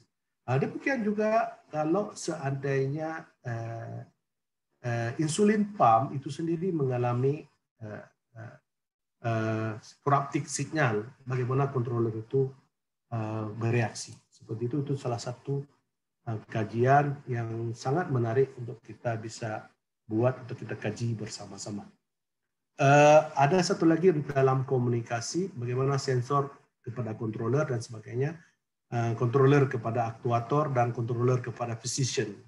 Maksudnya tadi uh, saya sudah sebutkan dalam komunikasi uh, uh, control I mean physician atau dokter dapat mengam, meng, apa override, override uh, mengambil alih controller. Yang mana uh, dari jarak jauh uh, medical doctor mungkin dari dia punya dari handphone yang ada sama dia, dia bisa mengambil uh, apa namanya uh, kita punya glucose monitoring system, di mana dia bisa um, mengambil uh, alih uh, itu. Itu salah satu komunikasi yang sekarang di, sangat diperlukan di dunia uh, untuk diabetes patient. Kemudian ada lagi uh, mungkin uh, bagi kita yang suka material, kita bisa lihat sensor-sensor uh, untuk glucose monitoring yang namanya seperti non-invasive glucose monitor, seperti pernah kita lihat smart contact lens daripada Google. Google mencoba memonitor uh, glukos dengan menggunakan kontak lens. Uh, walaupun ini dikatakan invasif, tetapi masih uh, apa namanya harus dibenamkan kepada uh, uh, mata kita ke dalam mata kita. Ya, kita harus ber, ber, berinteraksi langsung dengan mata kita. Kemudian ada uh, gambar yang ini, yang ini saya lupa namanya, tapi ini uh, diproduksi oleh Israel. Diproduksi oleh Israel, dia menggunakan ring seperti ini. Dan ring seperti ini akan berkomunikasi dengan device yang seperti ini untuk mendapatkan informasi glukos. Nah, kalau kita interest uh, apa, mencoba membuat hal yang sama, bagaimana kalau seandainya kita meng, uh, apa, mengganti monitor ini menjadi handphone dengan menggunakan ring yang sejenis. Pada prinsipnya, kalau uh, adik-adik atau abang-abang dan uh, ibu-ibu semua dan bapak-bapak semua pernah menggunakan oximeter, oximeter, nah itu hanya berdasarkan infrared, infrared signal. Dari infrared signal kita interpret, kita estimate glucose level.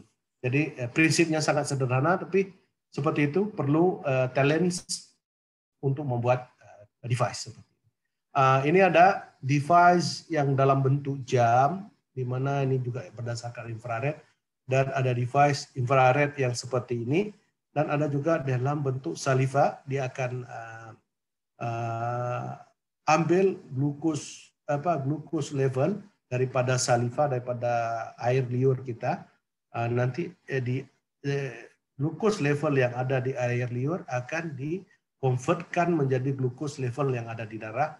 Ada juga yang mengambil daripada uh, apa nama uh, uh, keringat daripada keringat di pada permukaan kulit kita dia akan coba uh, tahu berapa glukos dan ada juga yang mengambil daripada uh, informasi daripada kuping kita seperti pada telinga kita.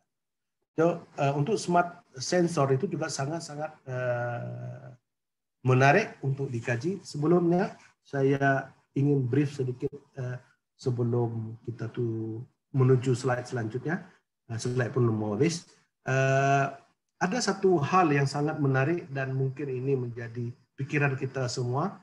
Uh, kalau kita coba membuat satu pikiran, bisa nggak kita membuat satu sensor untuk yang namanya perasa, sensor perasa, maknanya kalau misalnya kita mau makan satu uh, ayam penyet di satu kedai, uh, ditentukan oleh mesin. Oh, oh, rasanya enak gitu, ditentukan oleh mesin. Bisa nggak kita buat kira-kira seperti itu? Sebenarnya kita bisa buat apa yang namanya artificial lidah, lidah artifisial lah, tong tong artificial, artificial tong lah dalam bahasa Inggrisnya artificial tong. Uh, coba kita pikir bagaimana kita buat artificial tong, bagaimana kita buat sensor yang menyerupai lidah kita. Dalam uh, ilmu kimia uh, ini bisa kita dekati dengan uh, apa yang namanya oxidation reduction potential, di mana uh, semua uh, apa Eh, kimia, semua bahan-bahan makanan dan sebagainya memiliki uh, oxidation reduction potensial ini yang ber... nah, nah dari ini kita sebenarnya bisa berpikir untuk membuat uh, sensor untuk lidah dan ini belum ada di dunia. Ini belum ada di dunia untuk sensor untuk lidah itu sendiri. Oke, okay? mungkin bisa dipikir ke depan. Uh, market player untuk uh, apa insulin apa bionic pankreas itu sendiri ada Abbott. Saya rasa Abbott tidak asing. Ini adalah salah satu produsen uh, COVID-19 vaksin Kemudian ada Dexcom, ada Medtronics, ada Sensonic, ada Insulin Corporation, ada Soil, ada Tandem. Ada sekitar eh, tujuh player yang saya dapat informasi tentang uh, Medix ini sendiri. Dan ketujuh-tujuh player ini berada di Western country, berada di Western country. Ketujuh-tujuh player ini ada di Western country. Saya belum mendapatkan informasi dari Eastern country. Oke, okay. saya rasa seperti itu maka bisa saya simpulkan uh, uh, bionic pankreas ini tidak baru, tapi itu sudah lama terjadi semenjak tahun sebelum eh, Perang Dunia Kedua. Kemudian uh, adanya beberapa matikan model yang sangat banyak di dalam bentuk ODE, DDE dan sebagainya. Dan saya, saya sudah saya jelaskan bagaimana uh, behavior daripada BID controller untuk uh, diabetes DDE uh, itu bekerja dengan baik untuk uh, tipe 1 dan uh, untuk H infinity controller alhamdulillah bekerja baik untuk tipe 1 dan tipe 2 tapi kita tidak melihat lagi lebih detail untuk uh, real aplikasi untuk itu. Dan um, open problem untuk future kita juga saya sudah diskusikan bersama. Saya sudah berikan paparan. Mungkin ada hal yang mau ditanya kita bisa lihat uh, lebih jauh di kemudiannya. Mungkin ada satu hal seperti ini, mungkin saya membuat Anda bingung, maka satu pertanyaan akan membantu membuka dunia. Terima kasih, uh, Prof. Prof. Waris. Silakan. Ya, uh, baik terima kasih Prof. Safei uh, yang sudah memaparkan uh, materi uh, kuliah umum kita kali ini ya. Eh, sangat menarik dan ini buat uh, kita semua ini terutama buat mahasiswa nih ya S1 dan S2 juga sebagai uh, tantangan ya challenge ke depan. Uh, nah sebelum kita nanti masuk ke dalam sesi tanya jawab, mungkin saya sedikit membantu buat para mahasiswa yang masih di tingkat dua nih Prof uh, di kuliah sinyal sistem karena mereka masih baru basic. Jadi uh, kalau dalam kuliah uh, maka kalian bisa memotretkan ya bahwa objek kita di sini adalah memahami tadi ya bagaimana mendesain pengendali untuk uh, pankreas. Jadi sistem yang akan di apa yang kita amati lah berupa pankreas di sini ya pankreas yang tadi fungsinya itu uh, termasuk bagaimana uh, apa namanya injeksi insulin ya dan uh, terus kemudian dia dalam tubuh itu juga harus fungsinya menjaga atau mengontrol ya mengontrol kadar gula dalam darah ya agar uh, tubuh kita itu tetap dalam kondisi sehat ya. Jadi memang luar biasa kalau dalam agama itu kan manusia, manusia di jalan bahwa uh, kita tuh diminta untuk mengamati uh, apa yang ada dalam tubuh kita ya karena itu banyak pelajaran di, di dalamnya di sana. Dan salah satunya adalah tentang pankreas ya fungsi pankreas ini sangat sangat penting. Jadi ketika tidak ter, tidak ter, apa tetap jadi ketidakseimbangan maka tubuh kita akan akan mengalami kondisi yang tidak sehat atau sakit. Ya eh, dan penyakit diabetes ini pada zaman sekarang ini termasuk yang yang termasuk yang banyak nih Prof kalau di Indonesia ya jadi apa eh, bahkan ada yang bilang ini merupakan eh, penyakit turunan jadi hati-hati juga kalau umpama kalau orang tua ya dari nenek-nenek kita itu punya penyakit ini, uh, maka kita diminta untuk menjaga uh, hidup sehat ya agar bisa terhindar dari penyakit ini. Nah kembali kepada apa namanya um, kajian tadi ya sistem ya. Jadi yang pankreas ini fungsikan fungsi pankreas itu menjadi sistemnya ya. Maka uh, dan luar biasa tadi sudah dipapar ditunjukkan oleh Prof. Safei ya bahwa sebenarnya dalam tubuh kita sendiri sudah ada mekanisme negatif feedback gitu ya. Uh, teknik kendali itu itu menggunakan konsep negatif feedback ini umpan balik negatif uh, dalam dalam kita mengimplementasikan pengendali untuk mengatur uh, keluaran. Dalam hal ini itu kita menjaga kadar gula dalam darah di sini. Jadi luar biasa ya, tubuh kita tuh secara otomatis sudah sudah dianugerahi ada konsep uh, negatif feedback di sana. Nah, ketika fungsi ini tidak um, berlangsung secara normal, maka terjadi penyakit ya, maka perlu ada um, alat bantu di sini yang yang kita namakan sebagai tadi yang bionic pancreas ditambahkan alat sebenarnya sebenarnya itu sebuah controller ya controller di situ uh, yang nanti berfungsi untuk menambahkan um, injeksi insulin ya agar fungsi pankreas itu bisa mendekati uh, kondisi normal ya uh, nah jadi tahapan nanti untuk membuat bionic pancreas itu ya, itu yang pertama ya kita harus punya model dulu nanti ya model matematis dalam kuliah kalian sudah mempelajari tentang model transfer function dan sedikit tentang state apa namanya model ruang keadaan itu sebenarnya yang tadi dipakai oleh Prof. Safei ya. Um, Prof. Safei tadi modelnya model apa state space, dia bentuknya dinamik juga, uh, punya karakteristik yang tidak linear, ya tidak linear. Mungkin kalian sudah uh, diulang kembali ya apa apa namanya bedanya antara linear dengan non linear ya. Dan tadi ada karakteristik ada time delay di situ, ya time delay yang uh, perlu dikompensasi di sana. Jadi bagaimana cara mendapatkan model itu um, ini bisa dilakukan berapa cara, bisa melakukan uh, cara pemodelan secara fisik atau physical modeling, atau bisa juga berbasis pada data atau yang kita kenal sebagai uh, identifikasi sistem di sini. Jadi boleh model tadi state space, transfer function, atau model kayak seperti neural network, kayak deep learning yang yang sekarang lagi marak begitu. Dan yang kedua Eh, kan tadi targetnya adalah untuk membuat menambahkan pengendali yang eh, berfungsi untuk penginjeksi insulin di sini.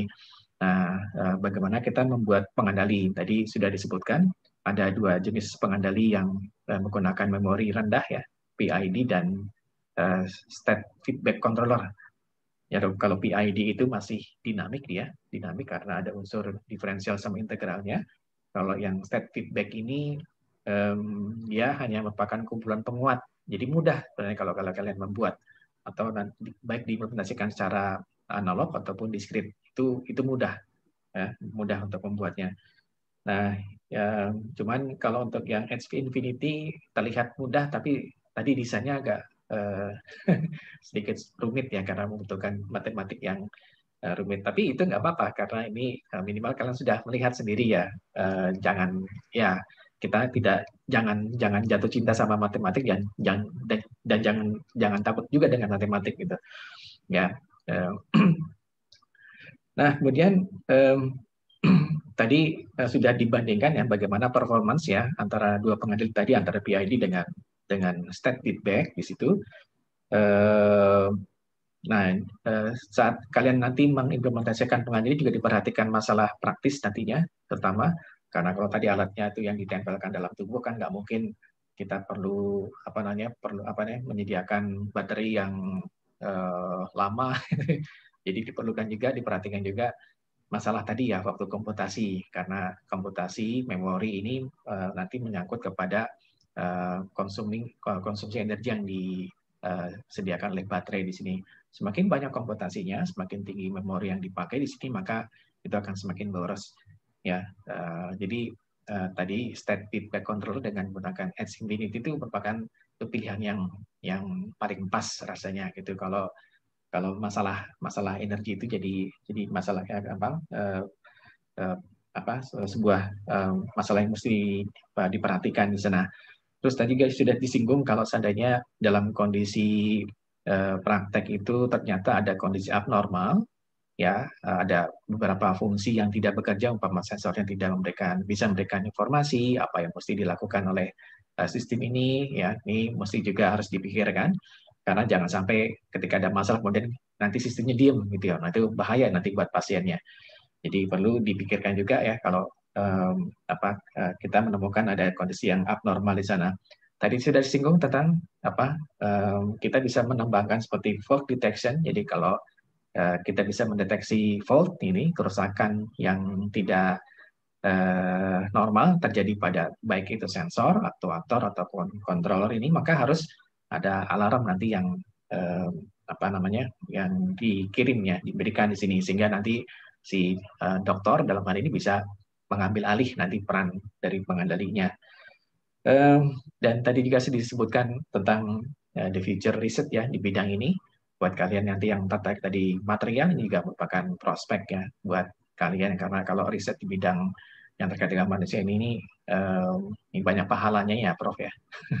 banyak para karena banyak pembantu para orang para pasien sakit orang sakit di sini Eh, dan juga tentu saja buat orang yang nanti tertarik di bidang kontrol ya, bagaimana nanti bisa mendesain pengendali yang tadi yang uh, robust itu bisa tahan, terus juga low low low energy ya, low energy yang yang isu yang apa namanya uh, kalau terkait dengan alat-alat kesehatan.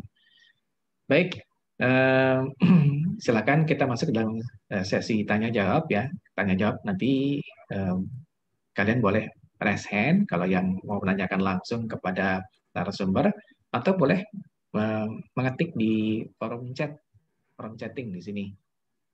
Uh, ini ada satu. Sudah ada satu. Ada satu di sini dari. Ya, sudah ada satu. Mas Nova. Mas Nova. Nah izin bertanya apakah sudah ada kajian mengenai bionic pancreas ini tentang adanya kemungkinan electromagnetic interference atau electromagnetic compatibility ya kalau nggak salah ya dan yeah. oh, kompatibilitasnya terhadap lingkungan elektromagnetik sekitarnya. Itu pertanyaan Prof. Silakan Prof. Wah. Ya, ini pertanyaan yang sangat uh, menarik ya. Saya belum terpikir juga untuk ini. Sejauh ini uh, apa yang saya saya pernah baca, uh, saya belum pernah menemukan kajian yang ini eh, electromagnetic interference eh, di dalam apa namanya sensor atau sebagainya. Ini saya belum pernah mendapatkan kajian seperti ini. Mungkin eh, bisa kita coba buat studi literatur first. Yang pertama tentang ini saya belum pernah baca, belum pernah dapat info tentang uh, electromagnetic interference di dalam uh, sistem ini. Dan kemungkinan besar uh, ada lah, mungkin ada ada apa ada ada terjadi Eh, gangguan elektromagnetik eh, khususnya eh, mungkin komunikasi antara apa namanya glucose monitoring system dengan device-device yang lain mungkin akan terjadi. Tapi saya sejauh ini belum pernah mendapatkan bacaan mengenai itu. Ada pertanyaan yang lain? Tadi eh, yang saya paparkan untuk future research lebih kepada endo uh, endokrin, sementara eksokrin saya tidak paparkan. Uh, karena pankreas itu ada dua fungsi seperti tadi. Jadi uh, untuk eksokrin itu juga ada satu uh, apa namanya research-research yang bisa dilihat uh, lebih lebih lanjut. Uh, Oke, okay, mungkin ada pertanyaan yang lebih yang bagaimana? Oh, ini hmm. pertanyaan dari Bu Dr. Vivi ini. uh, apakah sudah dilakukan parameter sensitivity analysis ini, Prof? Uh, uh, uh, Oke, okay. ini tergantung kepada model yang dia kita gunakan, model yang bagaimana. Kalau untuk uh, apa Wu model sudah ada parameter sensitivity. Kalau untuk Chrysler model sudah ada kajian uh, parameter uh, sensitivity oleh Chrysler sendiri. Sementara untuk uh, Vanunzi model yang berbasiskan um, uh, integro inter, uh, I mean, uh, integro differential equation itu belum ada. Yang integro differential equation belum belum ada sensitivity model. Kajian sensitivity parameter itu sangat menarik juga untuk dikaji.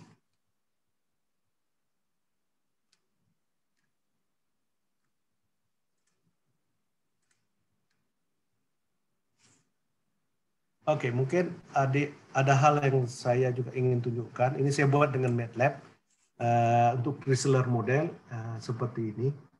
Oke, okay, uh, modelnya saya selesaikan semua dengan Simulink. Jadi adik-adik yang sudah belajar ini, ini bisa dilihat bagaimana di dalamnya ada fungsi daripada insulin dan glukos yang di dalamnya memiliki uh, penyelesaian persamaan yang saya sebutkan tadi ini ada persamaan kita sebutkan tadi hanya saya memakai uh, transport delay untuk uh, menyelesaikan persamaan delay. Nah ini uh, salah satu kalau saya tunjukkan simulasi uh, untuk uh, apa uh, uh, pasien tipe 2 ini uh, seperti apa nama uh, behaviornya yang berbentuk oscillation. Behaviornya yang berbentuk oscillation. Lagi running oke okay, mungkin ada pertanyaan lain? Apa ditanya apa saja? So yang ini behaviornya. Uh, ini saya menu apa dalam simulasi ini lebih detail saya tunjukkan uh, dia punya meal intake. Meal intake dalam bentuk uh, pulse signal, pulse signal dalam bentuk apa dua jam makan, oke, okay. ini makan, kemudian uh, tidak makan, makan lagi, tidak makan, makan lagi, dan itu akan menyebabkan osilasi, osilasi dalam uh, sistem. Oke, okay. mungkin yang lain. Ini ada yang raise hand ini Uh, Mas Hadiro Pradaya, silakan. Ya Pak, Pak kedengeran suaranya? Kedengeran, ya? kedengeran. Ya. Uh, ya, Assalamualaikum. Terima kasih uh, Profesor atas uh, berbagi ilmunya. Saya ingin bertanya terkait salah satu bagian di desain controllernya tadi. Kalau tidak salah, uh, tiap jenis dua controller itu menggunakan dua model yang berbeda ya tadi untuk yang PID itu pakai yang Kistler, yang H Infinity pakai yang Wu model. Uh, untuk itu pasangan antara pasangan itu apakah ada alasan khususnya Pak? Kenapa uh, oh. seperti itu atau uh, mungkin tidak itu? Oke okay, oke okay. sebenarnya tidak tidak ada alasan khusus karena kebetulan uh, kajian yang Chrysler saya ada data ada desain yang sudah ready dan untuk Wu juga ada desain yang sudah ready. Jadi di sini saya tidak membandingkan antara PID dengan uh, apa nama Wu dalam bentuk desain itu sendiri. Jadi ini tidak ada alasan uh, khusus. Uh, tapi di sini uh, dua model ini mem memiliki pendekatan yang berbeda terhadap uh, diabetes itu sendiri ya, memiliki pendekatan yang berbeda. Tidak ada uh, uh, kenapa saya memilih ini PID, memilih itu uh, Infinity, tidak demikian. Oke, tidak ada alasan yang demikian. Itu hanya untuk menunjukkan uh, kalau uh, untuk kasus uh, diabetes ini uh, PID itu sangat-sangat susah uh, memiliki performa yang bagus dikarenakan uh, kekurangan dari PID itu sendiri hanya itu yang eh, saya bisa eh, bagi alasan. Nah, tidak tidak ada alasan yang spesifik itu.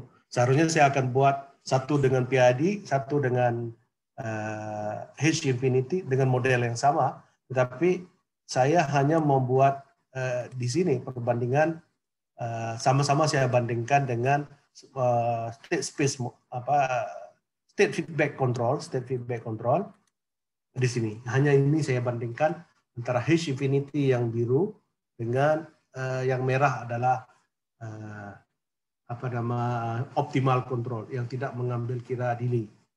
Yang kita tidak mengambil delay di dalam desain. Nah, ini untuk model yang sama tapi desain yang berbeda. Dia akan mempengaruhi uh, faktor.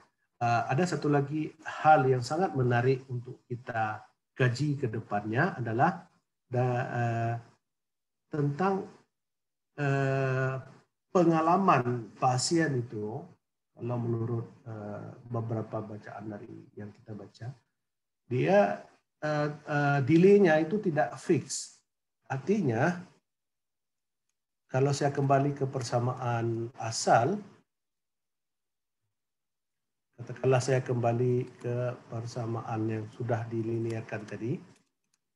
Oke, yang ini di mana to satu dan to dua ini tidak fix, dia varying ber, ber, ber apa namanya bervariasi antara satu waktu dengan waktu yang lain.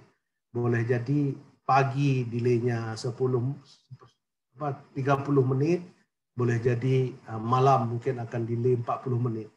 Nah, kalau variasi delay itu terjadi, maka desain controller akan lebih rumit dan uh, maksudnya teknik mendesain akan lebih rumit dan ini real yang terjadi dengan dengan kita dengan uh, tubuh kita dia tidak pernah fix delay itu. Jadi kalau tadi Kisler, uh, sorry, uh, Sturis mendefinisikan delay itu dalam bentuk range waktu antara 30 hingga 45 menit untuk dia punya kajian mendapatkan delay 30 hingga 45 menit. Saya kembali saya ingin coba memberikan satu uh, real problem yang pernah saya hadapi waktu saya di Gen um, di Gen University kebetulan uh, saya salah satu engineer yang masuk ke ruang operasi untuk mempelajari Eh, tentang delay itu sendiri. Ada pasien yang kita coba untuk uh, uh, apa nama uh, anestesia. Ada pasien, uh. Biasanya rata-rata kita akan tertidur di dalam uh, uh, lebih kurang 30 detik kita sudah akan tertidur kalau kita diberi anestetik anestetik. Uh, anestetik dalam 30 detik akan tertidur. Dan rata-rata manusia mengalami meng, apa, ter, akan tertidur lelap atau hipnosis dalam waktu dua menit. Itu udah rata-rata seperti itu behavior daripada manusia. Jadi ada satu pasien itu dia tidak tertidur tidur. Jadi dokter sudah bingung, tidak tertidur tidur dia udah lama dan eh, behaviornya sangat aneh Kemudian data yang kita ada itu kita coba analisis apa yang terjadi dengan pasien itu, data input output dan kita dapatkan pasien ini memiliki waktu apa delay itu dua jam, memiliki delay dua jam. Ah, kenapa memiliki delay dua jam? Mungkin kita nggak tahu. Jadi eh, itu salah satu pengalaman untuk kita buat analisis daripada data tentang uh, pasien. Tapi itu untuk, untuk studi uh, anesthesia bukan studi uh, diabetes. Oke, okay. and kebanyakan studi di biomedik ini uh, kita tidak bisa menghindari daripada time delay. Kalau kita menuju ke dinamik daripada cancer, juga dinamiknya memiliki time delay system uh, dan time varying delay system juga. Uh, demikian juga untuk kardiovaskular, uh, dinamiknya juga memiliki time delay system. Oke, okay, uh, eh, mungkin ada pertanyaan lain karena uh, mudah-mudahan yang tadi saya tidak punya alasan yang pasti. Oke, okay, terima kasih. Ada Baik. pertanyaan yang lain? Baik, ada pertanyaan yang lain. Kalau dari market player tadi kan disebutkan ada tujuh ya perusahaan. Ini kan sebanyak kan perusahaan-perusahaan eh, apa namanya kesehatan semua ini, Prof ini. Iya. Itu um, untuk produk, setiap produk ini berapa harganya tuh yang paling oh. murah atau yang termahal ini Prof? Hanya harga jadi. Saya saya harga tidak pasti karena ada saya coba komunikasi saya minta quotation dengan mereka sampai saat ini dia dia belum jawab saya. Nggak ngasih Nggak ya ngasih ya karena saya minta quotation yang mana saya boleh interpret dia punya sistem. Maksud saya saya boleh komunikasi dengan komputer saya sehingga saya bisa pelajari untuk untuk desain controller. Sampai saat ini dia tidak bagi harga. Uh, saya nggak tahu pasti berapa ya. Karena biasanya kalau untuk yang produk kesehatan ini biasanya harganya mahal, mahal, ya, gitu. mahal. Yang di luar saya dengar itu untuk yang alat bantu pendengaran saja itu kan ada yang apa yang masalah di beberapa uh, vokal sama konsonan itu itu bisa harga ratusan juta itu. Yeah. ratusan juta ini um, rasa ini juga termasuk karena ini Mahal, ya. uh, termasuk alat kesehatan yang kritis juga ya. Ya. Uh, dan mereka juga nggak kita nggak tahu pakai model apa, apakah pakai observer juga gitu kita nggak tahu ya, Prof. Uh, sejauh ini yang Artinya masih itu. banyak dipakai uh, dua sistem yaitu PID dengan uh, fuzzy untuk untuk controller YZ dengan Fazi di apa di industrial eh, industri aplikasi sebanyak itu. Dan uh, sudah mulai juga dipakai uh, MPC MPC ini tapi bukan yang non linear yang berbentuk uh, MPC lookup table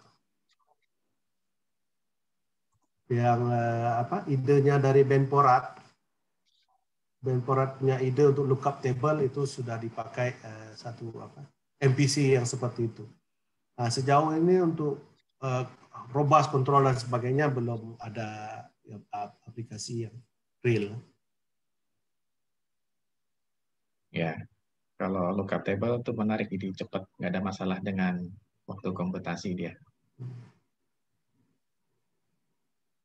Ya. Baik, ada pertanyaan lain? Uh, ada adik mahasiswa?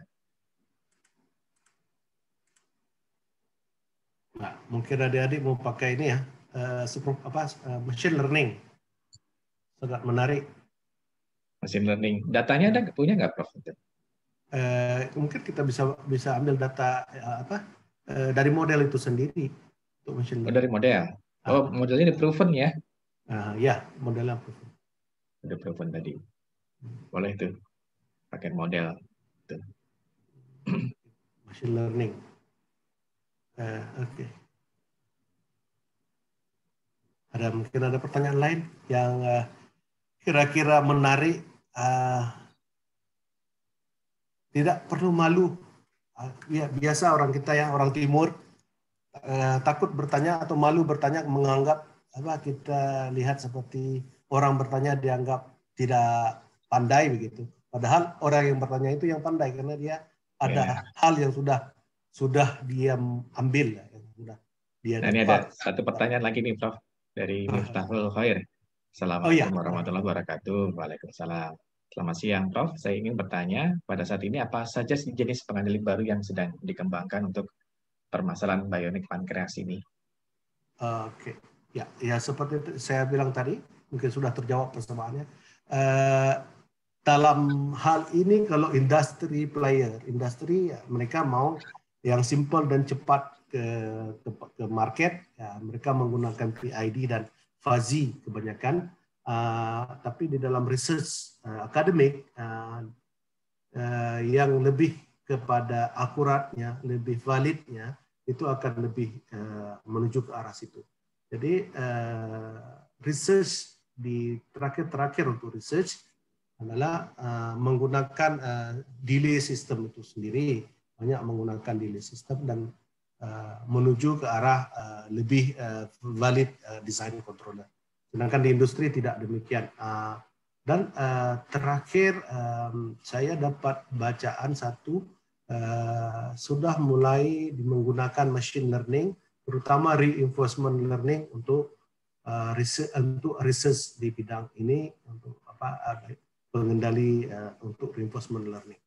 Uh, salah satu kelebihan reinforcement learning ini, saya juga berangkat dari reinforcement learning, uh, sistem yang kita desain bisa beradaptasi menjadi optimal kepada uh, individual uh, kita sebutkan environment di dalam reinforcement learning, individual reinforcement. Jadi semakin sering interaksi learning itu terjadi, maka optimalitinya akan semakin bagus. Jadi kenapa reinforcement learning itu sangat populer saat ini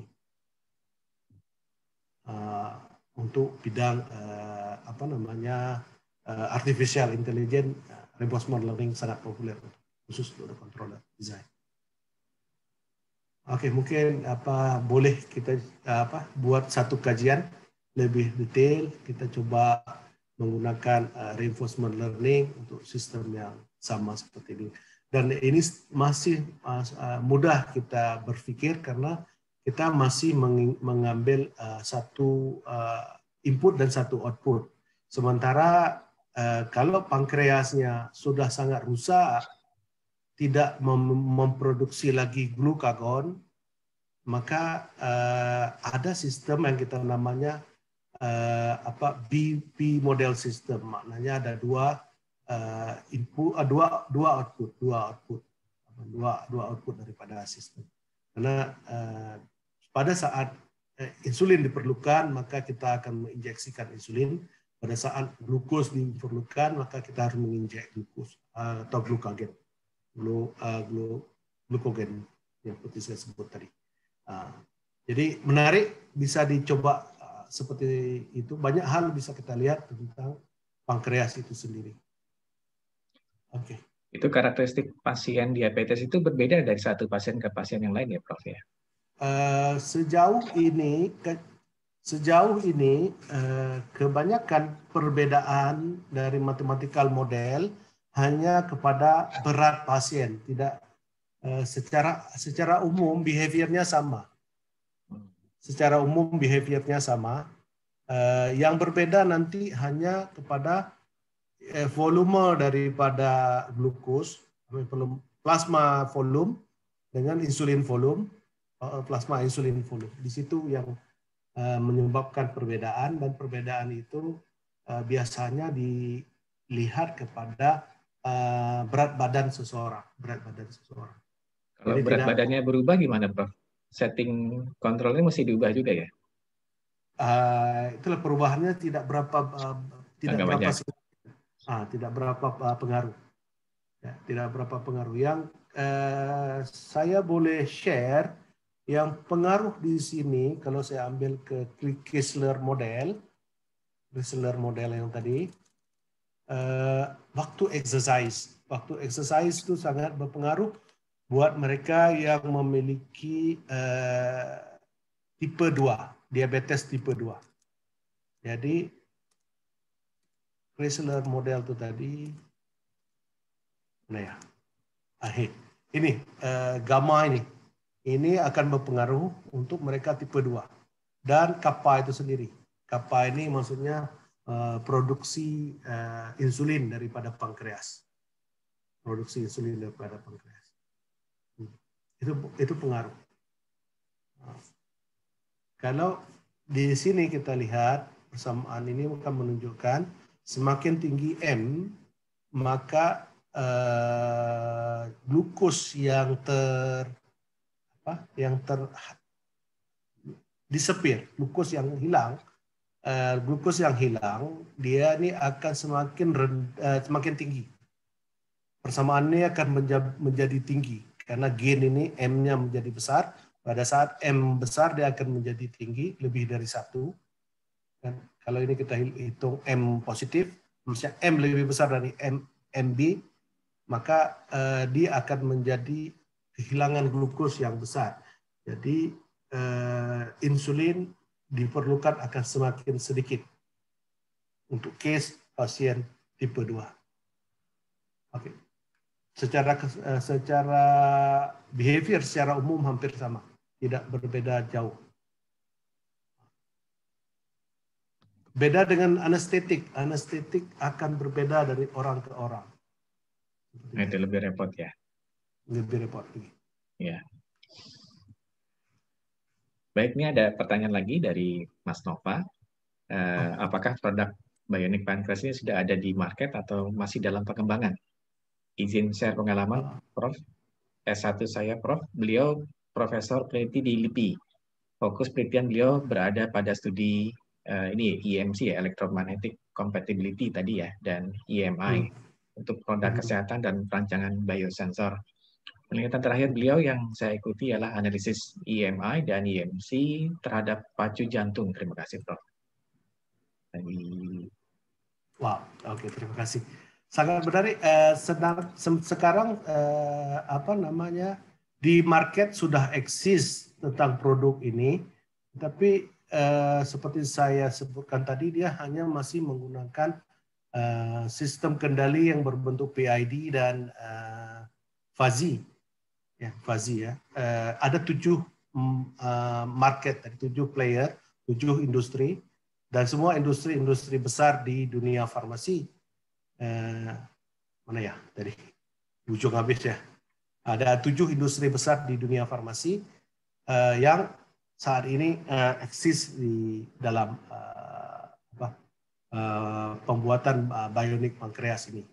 Sementara uh, untuk pembuatan sensor sendiri malah Google Google itu sendiri ikut ikut menjadi pemain Google ikut jadi pemain yeah. kalau kita lihat ya Google ikut jadi pemain di dalam pembuatan sensor uh, glukos itu sendiri jadi uh, menarik memang uh, untuk dikaji ini atau dibuat dalam bentuk market sangat menarik. Uh, mungkin uh, kolaborasi kita kita saya uh, di dalam hal ini boleh bercakap memberi kontribusi dan bercakap tentang uh, apa desain controller mungkin kawan-kawan dan adik-adik yang di elektro yang suka coding bisa bantu untuk buat uh, coding lebih lanjut dalam komunikasi antara sensor dengan device itu sendiri. Ya. Bagus, Prof. Uh, okay. Ini tadi dari Mas Nova. Ya. Terus uh, ada pertanyaan lagi nih, Prof. Uh, dari Miftahul juga ya. Apakah ada riset-riset menarik lain tentang desain pengendali untuk bionic organs atau aplikasi ilmu sistem kendali di bidang kesehatan yang Prof. Safi rekomendasi untuk kami baca atau pelajari? Ya, tentu saja ada. Tentu saja ada. Tadi saya sudah sebutkan tentang uh, dia apa nama uh, anestesia, uh, juga tentang cancer, oke, okay, tentang uh, ada juga uh, tentang lain-lain dan sebagainya. Uh, sangat-sangat banyak uh, sekarang kajian uh, apa uh, biomedik itu sendiri dan sangat-sangat uh, uh, penting untuk ini saat ini.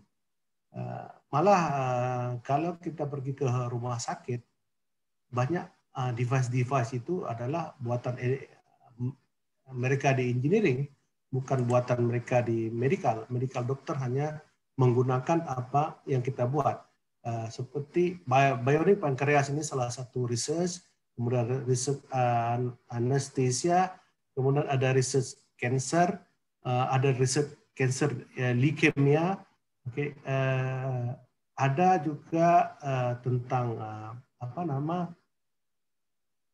uh, kardiovaskular, ada juga kajian tentang kardiovaskular atau jantung, ada juga tentang brain, brain. Jadi uh, boleh juga dibawa ilmu robotik ke arah biomedik. Nah, seperti apa yang terjadi ada satu kolaborator kita di Tel Aviv University, mereka membuat uh, uh, brain surgery menggunakan robot. Jadi untuk operasi uh, kepala apa otak di menggunakan robot. Uh, ada juga misalnya kajian yang lebih detail lagi untuk uh, yang berbentuk image processing image processing saat ini sangat sangat populer di uh, artificial intelligence khususnya uh, tentang uh, bi uh, apa, biomedik seperti uh, di mamograf.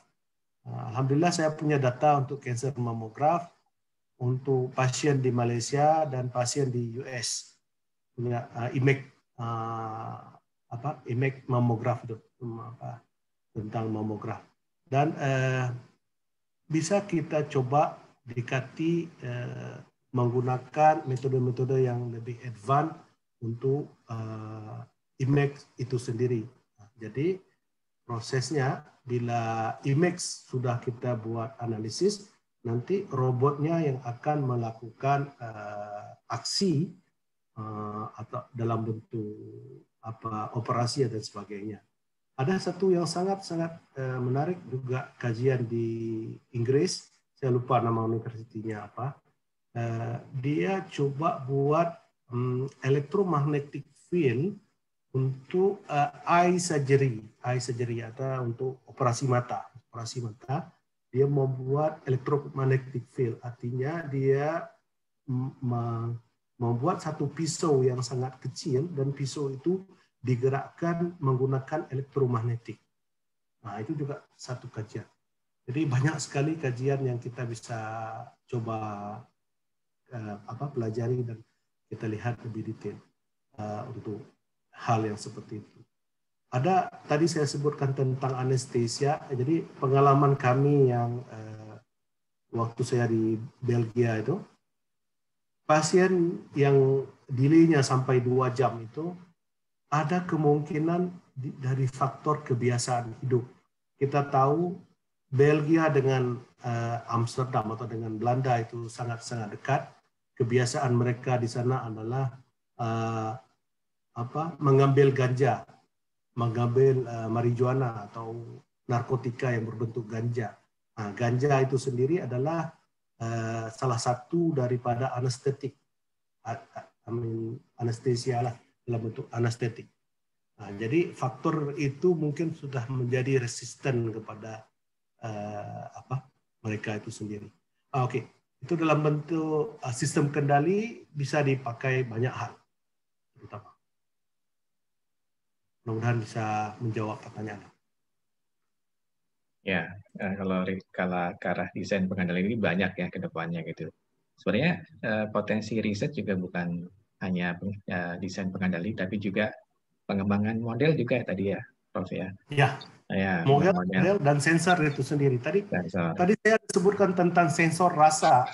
Saya rasa kalau kita bisa membuat satu sensor rasa, saya rasa restoran-restoran besar dunia seperti KFC, McDonald, pasti akan tertarik untuk membeli sensor itu. Sensor rasa, sehingga rasa itu menjadi uniform, sama di seluruhnya.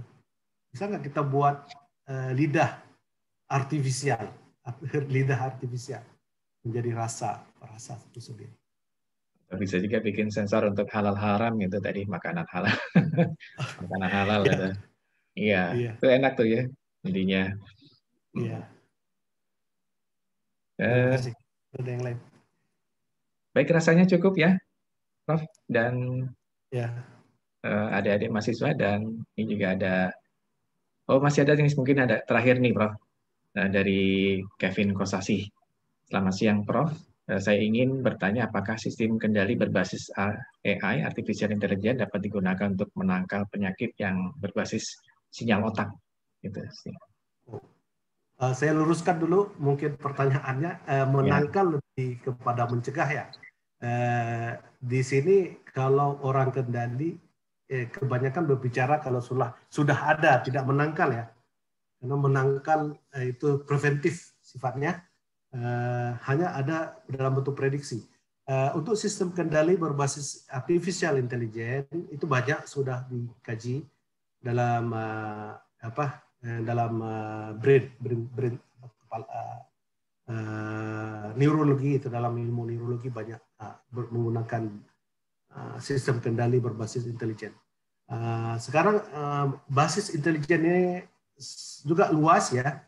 Uh, intelijen ini sangat luas sekarang, tidak hanya berbasiskan kepada uh, artificial neural network dan uh, fuzzy logic, tidak juga reinforcement learning, sekarang ada lagi yang berbentuk supervised learning system dan sebagainya, yang sebagainya yang seperti itu untuk artificial intelligence. Uh, so uh, artinya uh, banyak banyak kajian-kajian tentang itu yang coba buat untuk uh, itu sendiri. Dan uh, image processing atau signal processing itu sendiri uh, masuk ke dalam kategori uh, artificial intelligence untuk saat ini. Uh, okay, untuk saat ini. Dan uh, dynamics uh, sendiri dynamic behavior itu sendiri bisa di, di, dikaji berdasarkan uh, artificial intelligence itu sendiri jadi memang sangat menarik untuk artificial intelligence eh, itu sendiri oke terima kasih Ya, kalau penyakit bukan ditangkal sih, dicegah gitu. Eh, kalau kontrol itu menghindari kecelakaan, nah itu bisa gitu. Kalau, kalau men, apa, mencegah penyakit eh, belum sampai ke sana ya, kalau mencegah penyakit ya, belum sampai ke sana gitu. Baik itu juga rasanya, oh ini masih ada lagi. Menjelang sore makin banyak aja pertanyaan ini dari Muhammad Taufik Hidayat Um, izin bertanya apakah sudah ada kajian tentang densitas atau konsentrasi reseptor kimia pada sel tubuh manusia guna menentukan time delay? Wow. ini mungkin sangat spesifik pertanyaannya. Saya yeah. reseptor lari kepada neuron. Ah. Neuron uh, sangat apa sangat unik unik sekali tentang neuron. Uh, saat ini uh, masalah apa kajian-kajian tentang neurologi yang berbentuk matematik ini uh, masih didekati secara simpel ya persamaan-persamaan yang simpel. Karena uh, di dalam neurologi itu sendiri, uh, khususnya kalau saya bercerita satu neuron, satu neuron mungkin kita pernah mendengar yang namanya uh, cyclic acid uh, reaction atau tetracyclic acid reaction TCA di mana di situ ada sekitar uh, 10 tahap reaksi. 10 tahap reaksi setiap reaksi itu adalah reaksi enzimatik. Dan itu reaksi enzimatik hanya terjadi di dalam neuron setiap reaksi itu dipengaruhi oleh katalisasi atau enzim katalisis uh, uh, atau uh, apa ya enzim katalisis ya istilahnya itu dipengaruhi oleh surrounding atau lingkungan daripada neuron itu sendiri. Nah, neuron, neuron, lingkungan daripada neuron itu sendiri mempengaruhi reaksi di dalam neuron itu lebih didekati hanya simple persamaan, hanya simple definisi daripada uh, kalau kita paham absorpsi, absorpsi uh, dalam bentuk absorpsi uh, sahaja jadi definisinya hanya dalam bentuk asopsi saja. Jadi eh, kalau mau dilihat dalam bentuk time delay ini, nanti absorpsi ini didekati pertama dengan menggunakan partial differential equation. Nanti dari partial differential equation kita bisa mendefinisikan berapa delay itu sendiri. Karena eh, kalau kita melihat eh, partial differential equation dalam bentuk Uh, uh, respect kepada state itu sendiri, apa respect kepada state bukan respect kepada waktu, maka uh, transportasi uh, itu dari satu poin ke poin yang lain itu menunjukkan delay. Jadi uh, secara konsep kita bisa definisikan menurut uh, partial differential equation dan bisa kita konfirma, convert menjadi uh, time delay system. Time delay system maknanya kita tidak melihat apa yang terjadi kalau saya berbicara jarak antara poin A ke poin B, kita tidak melihat apa yang terjadi di antara, tetapi kita hanya melihat apa yang terjadi di titik A dan titik B. Sementara partial differential equation memberikan kita uh, gambaran keseluruhan antara A sampai B. Seperti itu. Jadi ada ada studi, studinya masih bersifat uh, apa simple, sangat simple dengan menggunakan absorpsi uh, persamaan absorpsi, terutama persamaan absorpsi. Oke, okay, terima kasih. Ada lagi? Terima kasih Prof. Rasanya itu uh, pertanyaan. Hmm. Oh, masih ada lagi nih, sebentar. Saya kira udah habis. Uh, ini dari Fatir, ya. Sebentar. Hmm. Saya ingin bertanya, apakah menggunakan AI pada Alkas sendiri akan bermasalah dengan aspek moralitas di mana kita akan menyerahkan kontrol kepada mesin? Saya tertarik pada sistem adaptif, namun saya juga khawatir dengan aspek moralnya. Terima kasih. Ah, ini ini menarik ya masalah cerita tentang uh, moral ya. Uh, iya sekarang uh, saya melihat itu sendiri ya, uh, uh, saya coba memberi satu gambaran tentang penggambaran apa penggunaan artificial intelligence atau penggunaan uh, uh, kontrol desain untuk anestesia contohnya yang di mana biasanya uh, jumlah apa nama anestetik jumlah uh, injeksi ataupun respirasi daripada anestetik ditentukan oleh anestesiologis. Ah, jadi anestesiologis biasanya melakukan observasi kepada uh, fisikal daripada pasien seperti uh, uh, apa namanya uh, motion, pergerakan daripada bentuk tangan atau tubuh uh, pada pasien dan juga berdasarkan kepada uh, apa nama um, blood pressure, blood pressure, tekanan darah daripada pasien, kemudian baru ditentukan berapa jumlah drug dan itu harus diambil uh, decision kesimpulannya dalam waktu sangat singkat, misalnya hanya dalam waktu dua menit kita harus mengambil inisiatif, adakah pasien itu kita uh, berikan uh, anestetik langsung, amin maksud saya ditambah atau dikurang itu berdasarkan simptom yang itu. Nah, kalau dokter atau anestetik anestesiologis memberi anestetik yang berlebihan, maka akibatnya kita akan mengalami yang namanya uh, koma, tidur yang tidur keterusan tidur koma. Dalam artinya koma, kelebihan uh, anestetik dan akan menyebabkan um, mati. Okay. Uh, salah satu contoh yang menyebabkan mati akibat kelebihan anestetik adalah uh, uh, Michael Jackson Michael Jackson kelebihan anestetik dan dia mati. Uh, kemudian uh, kalau seandainya uh, anestesiologis memberikan informasi ataupun anestetik yang berku, yang kurang, maka kita bayangkan kita sedang berop, sedang dioperasi dan kita terbangun semasa operasi. Terbangun masa operasi saat tubuh kita dibelah oleh dokter, kita terbangun dan ini akan menyebabkan kita trauma. Dan trauma itu akan menyebabkan eh, kita apa merasa sakit yang sangat-sangat. Merasa sakit yang sangat-sangat. Nggak tahu kita bilang bagaimana. Yang sangat sakit. Nah, jadi eh, untuk melihat moral itu sendiri moral eh, aspek yang bagaimana penggunaan yang ini adalah lebih kepada kita menjaga kadar uh, uh, anestetik atau kadar bahan bahan obat di dalam tubuh kita itu yang normal. Jadi uh, saya tidak memahami maksud uh, moral di sini dalam bagaimana apakah moral di sini semua nanti akan digantikan oleh oleh mesin. Uh, saya rasa tidak demikian karena mesin itu sendiri hanya bersifat membantu uh, dokter dalam uh, apa, mengambil keputusan.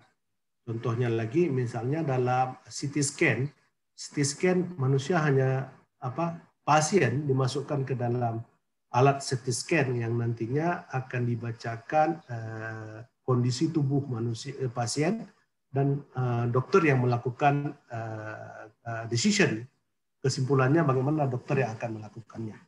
Jadi eh, moralnya semua seperti apa yang kita bisa pakai tentang yang itu dan apa objektif kita di dalam mendesain eh, AI itu sendiri. Kalau kita bawa ke arah yang useless seperti mungkin uh, uh, hanya fun seperti fun dalam arti game, nah, itu memang akan bersifat kepada moral. Tapi dalam hal uh, biomedik itu sendiri saya rasa moralnya lebih bagus malah untuk untuk membantu pasien dan uh, medical doctor. Seperti itu. Ya, ini uh, dengan adanya alat ini sebenarnya bukan tubuh kita dikontrol full oleh mesin sih, enggak, ini hanya cuma ngebantu uh, bagian yang bekerja tidak normal ya, Prof ya.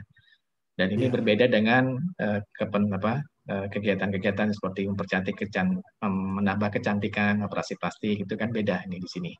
Lain bukan mengubah fisik di sini. Uh, baik rasanya itu cukup ya uh, kajian kita hari ini.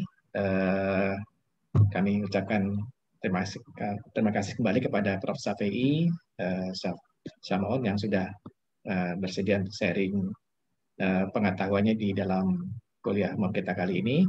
Untuk itu kita berikan aplaus yang meriah buat beliau. Pas ini azan asar di sini. Dan, uh, sebelum kita tutup, kita foto bersama dulu. Mohon diaktifkan uh, kameranya.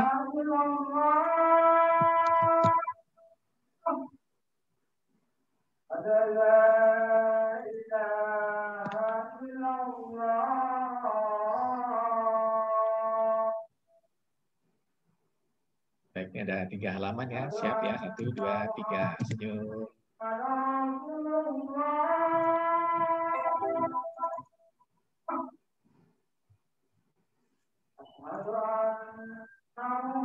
Halaman kedua.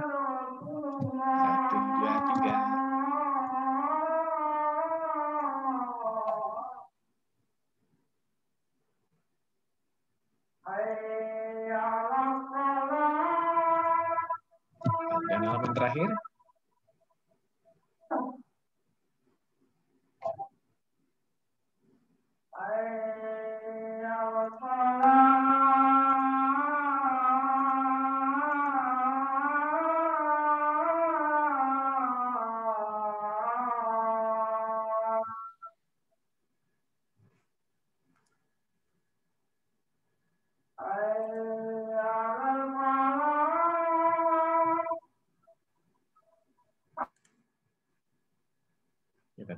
as that is insane.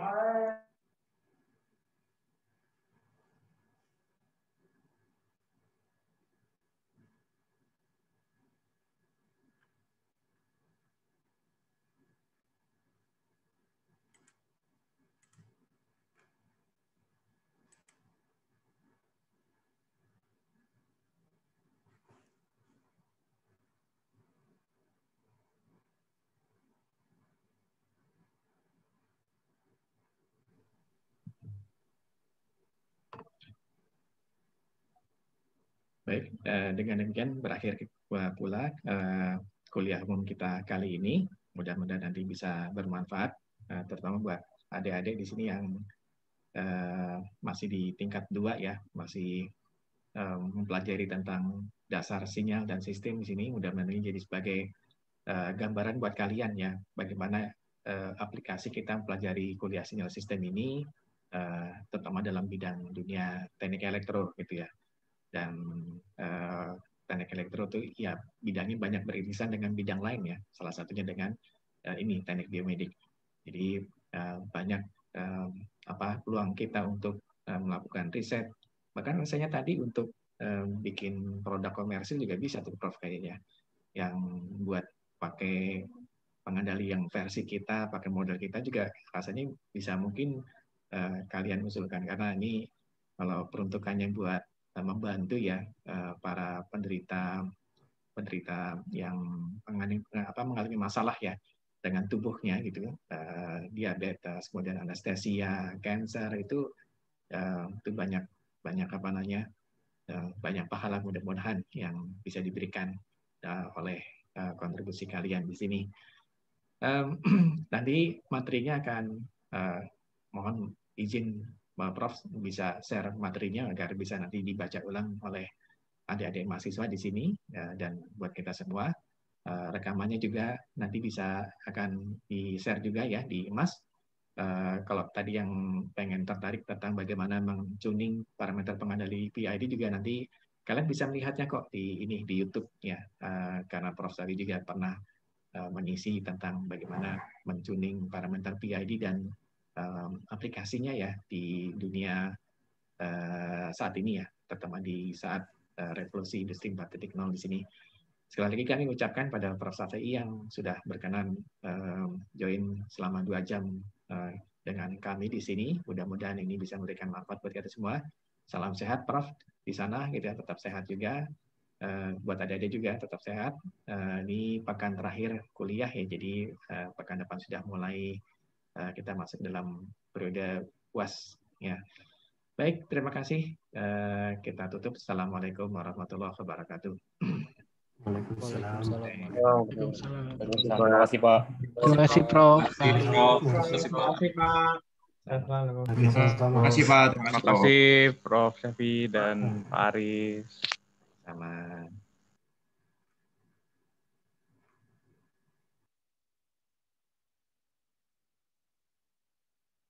Wah, ini ada yang resen tadinya. Nggak kebaca.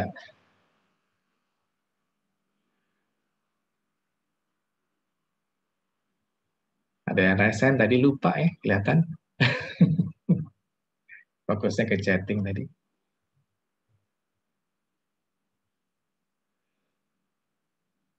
Baik, Prof. Eh, sampai ketemu lagi nanti eh, untuk yang rapat meeting kita Uh, cari waktu lagi berarti ya. Kemarin mohon maaf. Saya tutup ya Prof ya. Yuk, Assalamualaikum. Sampai ketemu lagi. Assalamualaikum warahmatullahi wabarakatuh.